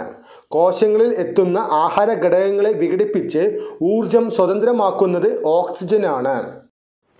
ഓക്സിജനെയും ആഹാര ഘടകങ്ങളെയും സംവഹനം ചെയ്യുന്നത് രക്തമാണ്. ഓക്സിജനെയും ആഹാര ഘടകങ്ങളെയും സംവഹനം ചെയ്യുന്നത് രക്തമാണ്. രക്തത്തിന് ചുവപ്പ് നിറം നൽകുന്ന വർണവസ്തുവാണ് ഹീമോഗ്ലോബിൻ. രക്തത്തിന് ചുവപ്പ് നിറം നൽകുന്ന വർണവസ്തുവാണ് ഹീമോഗ്ലോബിൻ. ഇരുമ്പിന്റെ അംശവും പ്രോട്ടീനും അടങ്ങിയ സംയുക്തമാണ് ഹീമോഗ്ലോബിൻ. ഇരുമ്പിന്റെ അംശവും പ്രോട്ടീനും അടങ്ങിയ സംയുക്തമാണ് ഹീമോഗ്ലോബിൻ. ഓക്സിജന്റെയും കാർബൺ ഡൈ ഓക്സൈഡിന്റെയും സംവഹനത്തിന് പങ്കുവഹിക്കുന്നത് ഹീമോഗ്ലോബിനാണ്. ഓക്സിജന്റെയും കാർബൺ ഡൈ ഓക്സൈഡിന്റെയും സംവഹനത്തിന് പങ്കുവഹിക്കുന്നത് ഹീമോഗ്ലോബിനാണ്. ഷഡ്പഥങ്ങളിൽ പദാർത്ഥ സംവഹനം നടക്കുന്നത് ശരീര അറകളിൽ നിറഞ്ഞിരിക്കുന്ന ദ്രാവകത്തിലൂടെയാണ്. ഷഡ്പഥങ്ങളിൽ പദാർത്ഥ സംവഹനം നടക്കുന്നത് ശരീര അറകളിൽ നിറഞ്ഞിരിക്കുന്ന ദ്രാവകത്തിലൂടെയാണ്. ഷഡ്പദങ്ങളിൽ ഹീമോഗ്ലോബിൻ ഇല്ലാത്തത് കാരണം ഈ ദ്രാവകത്തിന്റെ നിറം നിറമില്ല അല്ല എങ്കിൽ വെള്ള നിറം എന്നും പറയുന്നുണ്ട്. ഷഡ്പഥങ്ങളിൽ ഹീമോഗ്ലോബിൻ ഇല്ലാത്തത് കാരണം ഈ ദ്രാവകത്തിന്റെ നിറം വെള്ള അല്ലെങ്കിൽ നിറമില്ല എന്നും പറയുന്നുണ്ട്. ഓക്കെ. ഏകകോശ ജീവികളിൽ പദാർത്ഥ സംവഹന മാധ്യമം കോശദ്രവ്യമാണ്. ഏകകോശ ജീവികളിൽ പദാർത്ഥ സംവഹന മാധ്യമമാണ് കോശദ്രവ്യം. ചുവന്ന വിയർപ്പുള്ള അതായത് രക്തവിയർപ്പുള്ള ജീവി എന്നറിയപ്പെടുന്നത് ഹിപ്പോപൊട്ടാമസ് ആണ് ഹിപ്പോപൊട്ടാമസിൽ രോഗാണുക്കളെ നശിപ്പിക്കാൻ ത്വക്കിന് തൊട്ടു താഴെയുള്ള ഗ്രന്ഥികൾ പുറപ്പെടുവിക്കുന്ന ഒരു സ്രവമാണ് രക്തവിയർപ്പ് തുള്ളികൾ. ചുവന്ന രക്തകോശങ്ങൾ വെളുത്ത രക്തകോശങ്ങൾ പ്ലേറ്റ്ലെറ്റുകൾ എന്നീ കോശങ്ങളും പ്ലാസ്മ എന്ന ദ്രവഭാഗവും ചേർന്നതാണ് രക്തം. ചുവന്ന രക്തകോശങ്ങൾ വെളുത്ത രക്തകോശങ്ങൾ പ്ലേറ്റ്ലെറ്റുകൾ എന്നീ കോശങ്ങളും പ്ലാസ്മ എന്ന ദ്രവഭാഗവും ചേർന്നതാണ് രക്തം. വെളുത്ത രക്തകോശങ്ങൾ എത്ര തരത്തിലുണ്ട്? അഞ്ച് തരത്തിലാണ്. വെളുത്ത രക്തകോശങ്ങൾ എത്ര തരത്തിലുണ്ട്? അഞ്ച് തരം. പ്ലാസ്മയുടെ തൊണ്ണൂറ് ശതമാനത്തിലധികവും അടങ്ങിയിരിക്കുന്നത് ജലമാണ്. പ്ലാസ്മയുടെ തൊണ്ണൂറ് ശതമാനത്തിലധികവും അടങ്ങിയിരിക്കുന്നത് ജലമാണ്. ഹൃദയത്തിൽ നിന്ന് രക്തം ശരീരത്തിന്റെ എല്ലാ ഭാഗത്തും എത്തിക്കുന്നതും ശരീരത്തിന്റെ വിവിധ ഭാഗങ്ങളിൽ നിന്ന് രക്തത്തെ ഹൃദയത്തിൽ തിരിച്ചെത്തിക്കുന്നതുമാണ് രക്തപര്യനം എന്ന് പറയുന്നത്. ഹൃദയത്തിൽ നിന്ന് രക്തം ശരീരത്തിന്റെ എല്ലാ ഭാഗത്തും എത്തിക്കുന്നതും ശരീരത്തിന്റെ വിവിധ ഭാഗങ്ങളിൽ നിന്ന് രക്തത്തെ ഹൃദയത്തിൽ തിരിച്ചെത്തിക്കുന്നതുമാണ് രക്തപര്യനം രക്തപര്യന വ്യവസ്ഥയിൽ ഉൾപ്പെടുന്ന ഭാഗങ്ങൾ ഏതെല്ലാം? ഹൃദയം രക്തക്കുഴലുകൾ രക്തം എന്നിവ ഉൾപ്പെട്ടതാണ് രക്തപര്യന വ്യവസ്ഥ. രക്തപര്യന വ്യവസ്ഥയിൽ ഉൾപ്പെടുന്ന ഭാഗങ്ങൾ ഏതെല്ലാമാണ്? ഹൃദയം രക്തക്കുഴലുകൾ രക്തം എന്നിവ ഉൾപ്പെടുന്നതാണ് രക്തപര്യന വ്യവസ്ഥ. ഓക്കെ. മൂന്ന് തരം രക്തക്കുഴലുകളാണ് മനുഷ്യ ശരീരത്തിലുള്ളത്. ധമനികൾ സിരകൾ ലോമികകൾ. മൂന്ന് തരം രക്തക്കുഴലുകളാണ് ധമനികൾ സിരകൾ ലോമികകൾ. രക്തപര്യന വ്യവസ്ഥയുടെ കേന്ദ്രമാണ് ഹൃദയം. രക്തപര്യന വ്യവസ്ഥയുടെ കേന്ദ്രമാണ് ഹൃദയം. രക്തത്തെ ശരീരത്തിന്റെ എല്ലാ ഭാഗത്തേക്കും പമ്പ് ചെയ്യുന്നത് ഹൃദയമാണ്. രക്തത്തെ ശരീരത്തിന്റെ എല്ലാ ഭാഗത്തേക്കും പമ്പ് ചെയ്യുന്നത് ഹൃദയമാണ്. മനുഷ്യ ഹൃദയത്തിന്റെ പ്രത്യേകതകൾ എന്തൊക്കെയാണ്? മുഷ്ടിയോളം വലുപ്പം ഔരസാശയത്തിനുള്ളിൽ വാരിയെല്ലുകളാൽ സംരക്ഷിക്കപ്പെട്ടത് വശങ്ങളിൽ ശ്വാസകോശങ്ങൾ പെരിക്കാർഡിയം എന്ന ഇരസ്ഥ സ്ഥലം കൊണ്ട് പൊതിഞ്ഞത് നാല് അറകൾ ഉള്ളത്. മനുഷ്യ ഹൃദയത്തിന്റെ പ്രത്യേകതകൾ എന്തൊക്കെയാണ്? മുഷ്ടിയോളം വലുപ്പം ഔരസ ആശയത്തിനുള്ളിൽ വാരിയെല്ലുകളാൽ സംരക്ഷിക്കപ്പെട്ടത് വശങ്ങളിൽ ശ്വാസകോശങ്ങൾ പെരിക്കാർഡിയം എന്ന ഇരട്ട സ്ഥലം കൊണ്ട് പൊതിഞ്ഞത് നാല് അറകൾ ഉള്ളത്. ഓക്കെ. ജീവികളുടെ ഹൃദയ അറകളുടെ എണ്ണം. മണ്ണിരയ്ക്ക് അഞ്ച് ജോഡി പാർശ്വഹൃദയങ്ങളാണ്. മണ്ണിരയ്ക്ക് അഞ്ച് ജോഡി പാർശ്വഹൃദയങ്ങൾ. പാറ്റയ്ക്ക് പതിമൂന്ന് അറകളുള്ള ഹൃദയമാണ്. പാറ്റയ്ക്ക് പതിമൂന്ന് അറകളുള്ള ഹൃദയമാണ്. മത്സ്യത്തിന് രണ്ട് അറകളുള്ള ഹൃദയമാണ്. മത്സ്യത്തിന് രണ്ട് അറകളുള്ള ഹൃദയമാണ്. ഉരകത്തിന് മൂന്ന് അറകളുള്ള ഹൃദയമാണ്. ഉരകത്തിന് മൂന്ന് അറകളുള്ള ഹൃദയമാണ്. മുതലയ്ക്ക് നാല് അറകളുള്ള ഹൃദയമാണ്. മുതലയ്ക്ക് നാല് അറകളുള്ള ഹൃദയമാണ്. പക്ഷിക്ക് നാല് അറകളുള്ള ഹൃദയമാണ്. പക്ഷിക്കും നാല് അറകളുള്ള ഹൃദയമാണ്. ഓക്കെ. ഹൃദയമിടിപ്പ് അറിയാനുള്ള ഉപകരണമാണ് സ്റ്റെതസ്കോപ്പ്. ഹൃദയമിടിപ്പ് അറിയാനുള്ള ഉപകരണമാണ് സ്റ്റെതസ്കോപ്പ്. സ്റ്റെതസ്കോപ്പ് ആദ്യമായി നിർമ്മിച്ച ശാസ്ത്രജ്ഞൻ ആരാണ്? Rene Laennec. സ്റ്റെതസ്കോപ്പ് ആദ്യമായി നിർമ്മിച്ച ശാസ്ത്രജ്ഞനാണ് റെനെ ലെനക്. മനുഷ്യ ഭ്രൂണത്തിന് ഹൃദയം സ്പന്ദിക്കാൻ തുടങ്ങുന്നത് എപ്പോൾ മുതലാണ്? ഇരുപത്തിരണ്ട് ദിവസം പ്രായമാവുമ്പോൾ മുതലാണ്. മനുഷ്യ ഭ്രൂണത്തിന് ഹൃദയം സ്പന്ദിക്കാൻ തുടങ്ങുന്നത് എപ്പോൾ മുതലാണ്? ഇരുപത്തിരണ്ട് ദിവസം പ്രായമാവുമ്പോൾ മുതലാണ്. സാധാരണഗതിയിൽ മിനിറ്റിൽ ശരാശരി ഹൃദയസ്പന്ദന നിരക്ക് എത്രയാണ്? എഴുപത്തിരണ്ട് തവണയാണ്. ഓക്കെ. അടുത്ത പാഠം. താപമൊഴുകുന്ന വഴികൾ. താപം ഒരിടത്തു നിന്ന് മറ്റൊരിടത്തേക്ക് പ്രവഹിക്കുന്നതിനെ പറയുന്നത് താപപ്രേഷണം എന്നാണ്. എല്ലാ പദാർത്ഥങ്ങളും തന്മാത്രകളാൽ നിർമ്മിതമാണ്. ഖരവസ്തുക്കളിൽ തന്മാത്രകൾ അടുത്തടുത്തായാണ് സ്ഥിതി ചെയ്യുന്നത്. തന്മാത്രകളുടെ യഥാർത്ഥത്തിലുള്ള സ്ഥാനമാറ്റം ഉണ്ടാകാത്ത തരത്തിൽ താപം പ്രേഷണം ചെയ്യപ്പെടുന്ന രീതിക്കാണ് എന്തു പറയുന്നത്? ചാലനം എന്ന് പറയുന്നത്. ചാലനം വഴി താപം നന്നായി കടത്തിവിടുന്ന വസ്തുക്കളെ പറയുന്നത് സുചാലകങ്ങൾ എന്നാണ്. ചാലനം വഴി താപം നന്നായി കടത്തിവിടാത്ത വസ്തുക്കളെ പറയുന്നത് കുചാലകങ്ങൾ എന്നുമാണ്. തന്മാത്രകളുടെ സ്ഥാനമാറ്റം മുഖേന താപം പ്രേഷണം ചെയ്യപ്പെടുന്ന രീതിയാണ് സംവഹനം എന്ന് പറയുന്നത്. മാധ്യമത്തിന്റെ സഹായമില്ലാതെ തന്നെ താപം പ്രേഷണം ചെയ്യപ്പെടുന്ന രീതിക്ക് പറയുന്നത് വികിരണം എന്നാണ്. മിനുസമുള്ള പ്രതലം വികിരണ താപത്തെ പ്രതിപതിപ്പിക്കുന്നു. മിനുസമുള്ള പ്രതലം വികിരണ താപത്തെ പ്രതിപതിപ്പിക്കുന്നു. ചാലനം സംവഹനം വികിരണം എന്നിവയെക്കുറിച്ച് ഇവിടെ ഒന്നുകൂടി പറയുന്നുണ്ട്. തന്മാത്രകളുടെ യഥാർത്ഥത്തിലുള്ള സ്ഥാനമാറ്റം ഇല്ലാതെ ഒരു വസ്തുവിന്റെ ഒരറ്റത്തു നിന്ന് മറ്റേ അറ്റത്തേക്ക് താപം പ്രേഷണം ചെയ്യപ്പെടുന്ന രീതിയാണ് ചാലനം. തന്മാത്രകളുടെ യഥാർത്ഥത്തിലുള്ള സ്ഥാനമാറ്റം ഇല്ലാതെ ഒരു വസ്തുവിന്റെ ഒരറ്റത്തു നിന്ന് മറ്റേ അറ്റത്തേക്ക് താപം പ്രേഷണം ചെയ്യപ്പെടുന്ന രീതിയാണ് ചാലനം. ദ്രാവകങ്ങളിലും വാതകങ്ങളിലും തന്മാത്രകളുടെ യഥാർത്ഥ സ്ഥാനം മാറ്റം മുഖേന താപം പ്രേഷണം ചെയ്യപ്പെടുന്ന രീതിയാണ് സംവഹനം. ദ്രാവകങ്ങളിലും വാതകങ്ങളിലും തന്മാത്രകളുടെ യഥാർത്ഥ സ്ഥാനം മാറ്റം മുഖേന താപം പ്രേഷണം ചെയ്യപ്പെടുന്ന രീതിയാണ് സംവഹനം.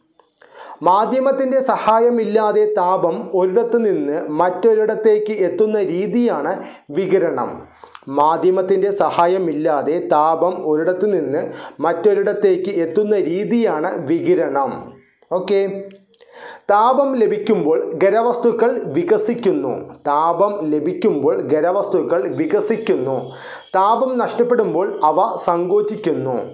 താപം നഷ്ടപ്പെടുമ്പോൾ ഖരവസ്തുക്കൾ സങ്കോചിക്കുന്നു. താപം ലഭിക്കുമ്പോൾ ദ്രാവകങ്ങൾ വികസിക്കുന്നു. തണുക്കുമ്പോൾ സങ്കോചിക്കുന്നു. താപം ലഭിക്കുമ്പോൾ ദ്രാവകങ്ങൾ വികസിക്കുന്നു. തണുക്കുമ്പോൾ സങ്കോചിക്കുന്നു. സങ്കോചിക്കുവാനും വികസിക്കുവാനുമുള്ള ദ്രാവകങ്ങളുടെ കഴിവ് പ്രയോജനപ്പെടുത്തിയാണ് ലബോറട്ടറി തെർമോമീറ്ററും ക്ലിനിക്കൽ തെർമോമീറ്ററും പ്രവർത്തിക്കുന്നത്.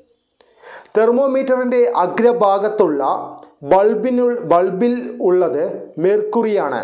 തെർമോമീറ്ററിന്റെ അഗ്രഭാഗത്തുള്ള ബൾബിൽ ഉള്ളത് മെർക്കുറിയാണ്. ശരീര താപനില അളക്കാൻ വേണ്ടി മാത്രം രൂപകൽപ്പന ചെയ്തിട്ടുള്ള തെർമോമീറ്ററാണ് ക്ലിനിക്കൽ തെർമോമീറ്റർ. ശരീര താപനില അളക്കാൻ വേണ്ടി മാത്രം രൂപകൽപ്പന ചെയ്തിട്ടുള്ള തെർമോമീറ്ററാണ് ക്ലിനിക്കൽ തെർമോമീറ്റർ. ഇരുന്നൂറ് ഡിഗ്രി സെൽഷ്യസിൽ താഴെയുള്ള താപനില അളക്കാൻ ഉപയോഗിക്കുന്നത് ലബോറട്ടറി തെർമോമീറ്റർ ആണ്. ഇരുന്നൂറ് ഡിഗ്രി സെൽഷ്യസിൽ താഴെയുള്ള താപനില അളക്കാൻ ഉപയോഗിക്കുന്നത് ലബോറട്ടറി തെർമോമീറ്റർ ആണ്. വാതകങ്ങളിൽ താപം ലഭിക്കുമ്പോൾ വികസിക്കുകയും തണുക്കുമ്പോൾ സങ്കോചിക്കുകയും ചെയ്യുന്നു. കടൽക്കാറ്റ്. പകൽ സമയത്ത് സൂര്യതാപത്താൽ കര വേഗം ചൂട് പിടിക്കുന്നു എന്നാൽ കടലിലെ ജലം സാവധാനത്തിൽ മാത്രമേ ചൂട് പിടിക്കുന്നുള്ളൂ കരിയുടെ മുകളിലുള്ള വായു ചൂട് പിടിച്ച് വികസിച്ച് മുകളിലേക്ക് ഉയരുന്നു. ഈ സമയം കടലിൽ നിന്നുള്ള ചൂട് കുറഞ്ഞ വായു കരയിലേക്ക് പ്രവഹിക്കും. ഇതാണ് കടൽക്കാറ്റ്. പകൽ സമയത്ത് സൂര്യതാപത്താൽ കര വേഗം ചൂട് പിടിക്കുന്നു എന്നാൽ കടലിലെ ജലം സാവധാനത്തിൽ മാത്രമേ ചൂട് പിടിക്കുന്നുള്ളൂ കരിയുടെ മുകളിലുള്ള വായു ചൂടുപിടിച്ച് വികസിച്ച് മുകളിലേക്ക് ഉയരുന്നു. ഈ സമയം കടലിൽ നിന്നുള്ള ചൂട് കുറഞ്ഞ വായു കരിയിലേക്ക് പ്രവഹിക്കും. ഇതാണ് കടൽക്കാറ്റ്. കരക്കാറ്റ്. രാത്രിയിൽ കര വേഗം തണുക്കുന്നു. കടൽ വളരെ സാവധാനമാണ് തണുക്കുന്നത്. അതുകൊണ്ട് കടലിനു മുകളിലെ വായു കരയ്ക്കു മുകളിലെ വായുവിനേക്കാൾ കൂടുതൽ വികസിച്ചിരിക്കും. അപ്പോൾ കരയ്ക്കു മുകളിലെ വായു കടലിന് മുകളിലേക്ക് പ്രവഹിക്കുന്നു. ഇതാണ് കരക്കാറ്റ്. രാത്രിയിൽ കര വേഗം തണുക്കുന്നു. കടൽ വളരെ സാവധാനമാണ് തണുക്കുന്നത്. അതുകൊണ്ട് കടലിനു മുകളിലെ വായു കരയ്ക്കു മുകളിലെ വായുവിനേക്കാൾ കൂടുതൽ വികസിച്ചിരിക്കും. അപ്പോൾ കരയ്ക്കു മുകളിലെ വായു കടലിന് മുകളിലേക്കു പ്രവഹിക്കുന്നു. ഇതാണ് കരക്കാറ്റ്. ഓക്കെ. സൂര്യപ്രകാശം ലംബമായി പതിക്കുന്നത് അധികവും ഏതു പ്രദേശങ്ങളിലാണ്? ഭൂമധ്യ രേഖ പ്രദേശങ്ങളിലാണ്. അതുകൊണ്ട് തന്നെ ഭൂമധ്യരേഖ പ്രദേശങ്ങളിൽ അധികവും അധികം ചൂട് അനുഭവപ്പെടുന്നു. ഓക്കെ. സൂര്യപ്രകാശം ലംബമായി പതിക്കുന്നത് അധികവും ഏതു പ്രദേശങ്ങളിലാണ്? ഭൂമധ്യരേഖ പ്രദേശങ്ങളിലാണ്. അതുകൊണ്ട് തന്നെ ഭൂമധ്യരേഖ ഭൂമധ്യ രേഖ പ്രദേശങ്ങളിൽ കൂടുതൽ ചൂട് അനുഭവപ്പെടുന്നു. ഇന്ത്യയിൽ സൂര്യപ്രകാശം ഏറ്റവും ലംബമായി പതിക്കുന്ന മാസങ്ങൾ ഏതൊക്കെയാണ്? മെയ് ജൂൺ ജൂലൈ മാസങ്ങളാണ്. ഇന്ത്യയിൽ സൂര്യപ്രകാശം ഏറ്റവും ലംബമായി പതിക്കുന്ന മാസങ്ങൾ ഏതൊക്കെയാണ്? മെയ് ജൂൺ ജൂലൈ മാസങ്ങളാണ്. ശക്തമായ കാറ്റും മഴയും മിന്നലും ഉള്ളപ്പോൾ എടുക്കേണ്ട മുൻകരുതലുകൾ ഏതൊക്കെയാണ്? ഒറ്റപ്പെട്ടതും ഉയരമുള്ളതുമായ മരത്തിന് താഴെ നിൽക്കരുത്. യാത്ര ചെയ്തുകൊണ്ടിരിക്കുകയാണെങ്കിൽ യാത്ര നിർത്തി സുരക്ഷിതമായ സ്ഥലത്തു നിൽക്കണം.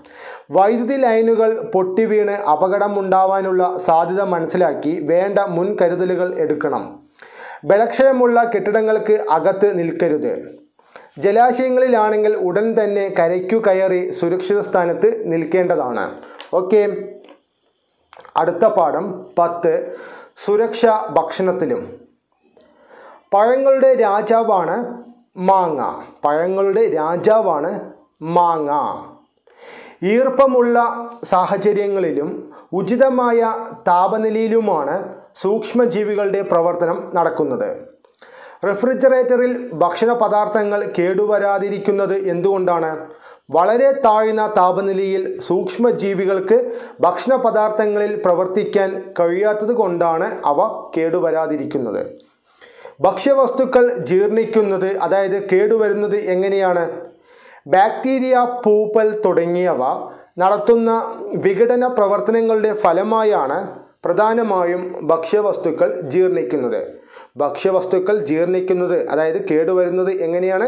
ബാക്ടീരിയ പൂപ്പൽ തുടങ്ങിയവ നടത്തുന്ന വിഘടന പ്രവർത്തനങ്ങളുടെ ഫലമായാണ് പ്രധാനമായും ഭക്ഷ്യവസ്തുക്കൾ ജീർണിക്കുന്നത്. ഭക്ഷ്യജന്യ രോഗങ്ങൾ തടയാൻ ലോകാരോഗ്യ സംഘടന നിർദ്ദേശിച്ചിരിക്കുന്ന അഞ്ച് മാനദണ്ഡങ്ങൾ ഏതൊക്കെയാണ്? ഭക്ഷ്യവസ്തുക്കൾ പാകം ചെയ്യുന്നതിന് മുമ്പ് നന്നായി വൃത്തിയാക്കുക.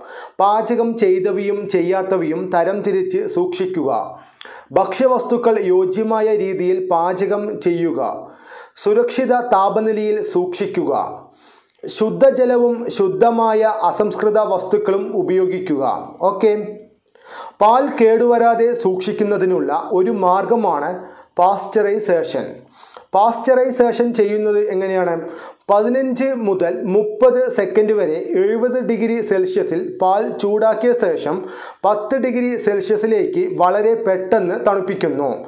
പാലിലുള്ള സൂക്ഷ്മജീവികളുടെ കോശസ്തരം അതിവേഗത്തിലുള്ള താപ വ്യതിയാനം മൂലം പൊട്ടിപ്പോകുന്നു. അങ്ങനെ അവ നശിക്കുന്നു. ഓക്കെ. ദ്രാവകാവസ്ഥയിലുള്ള ഭക്ഷ്യവസ്തുക്കൾ കേട് കൂടാതെ സൂക്ഷിക്കുന്നതിനുള്ള പാസ്ചറൈസേഷൻ രീതി ആവിഷ്കരിച്ച ഫ്രഞ്ച് ശാസ്ത്രജ്ഞൻ ആരാണ്? ലൂയി പാസ്ചറാണ് ദ്രാവകാവസ്ഥയിലുള്ള ഭക്ഷ്യവസ്തുക്കൾ കേട് കൂടാതെ സൂക്ഷിക്കുന്നതിനുള്ള പാസ്ചറൈസേഷൻ രീതി ആവിഷ്കരിച്ച ഫ്രഞ്ച് ശാസ്ത്രജ്ഞനാണ് ലൂയി പാസ്ചർ. ഐസ് നിർമ്മിക്കുമ്പോൾ വേഗത്തിൽ ഘനീഭവിക്കുന്നതിനും താഴ്ന്ന താപനില ലഭിക്കുന്നതിനും വേണ്ടി ചേർക്കുന്നത് അമോണിയം ക്ലോറൈഡാണ്. ഐസ് നിർമ്മിക്കുമ്പോൾ വേഗത്തിൽ ഘനീഭവിക്കുന്നതിനും താഴ്ന്ന താപനില ലഭിക്കുന്നതിനും വേണ്ടി ചേർക്കുന്നത് അമോണിയം ക്ലോറൈഡാണ്. ഭക്ഷണ സാധനങ്ങൾ ദീർഘകാലം കേടുവരാതെ സൂക്ഷിക്കാൻ ചേർക്കുന്ന വസ്തുക്കളാണ് പ്രിസർവേറ്റീവുകൾ എന്ന് അറിയപ്പെടുന്നത്. ഭക്ഷണ സാധനങ്ങൾ ദീർഘകാലം കേടുവരാതെ സൂക്ഷിക്കാൻ ചേർക്കുന്ന വസ്തുക്കളാണ് പ്രിസർവേറ്റീവുകൾ. പരമ്പരാഗത പ്രിസർവേറ്റീവുകൾക്ക് ഉദാഹരണങ്ങളാണ് ഉപ്പുലായനി പഞ്ചസാര ലായനി എണ്ണ വിനാഗിരി എന്നിവ. പരമ്പരാഗത പ്രിസർവേറ്റീവുകൾക്ക് ഉദാഹരണങ്ങളാണ് ഉപ്പുലായനി പഞ്ചസാര ലായനി എണ്ണ വിനാഗിരി തുടങ്ങിയവ. കൃത്രിമ രാസവസ്തുക്കളായ പ്രിസർവേറ്റീവുകൾക്ക് ഉദാഹരണങ്ങളാണ് സോഡിയം ബെൻസോയേറ്റ് പൊട്ടാസ്യം സൾഫേറ്റ് എന്നിവ. കൃത്രിമ രാസവസ്തുക്കളായ പ്രിസർവേറ്റീവുകൾക്ക് ഉദാഹരണങ്ങളാണ് സോഡിയം ബെൻസോയേറ്റ് പൊട്ടാസ്യം സൾഫേറ്റ് തുടങ്ങിയവ.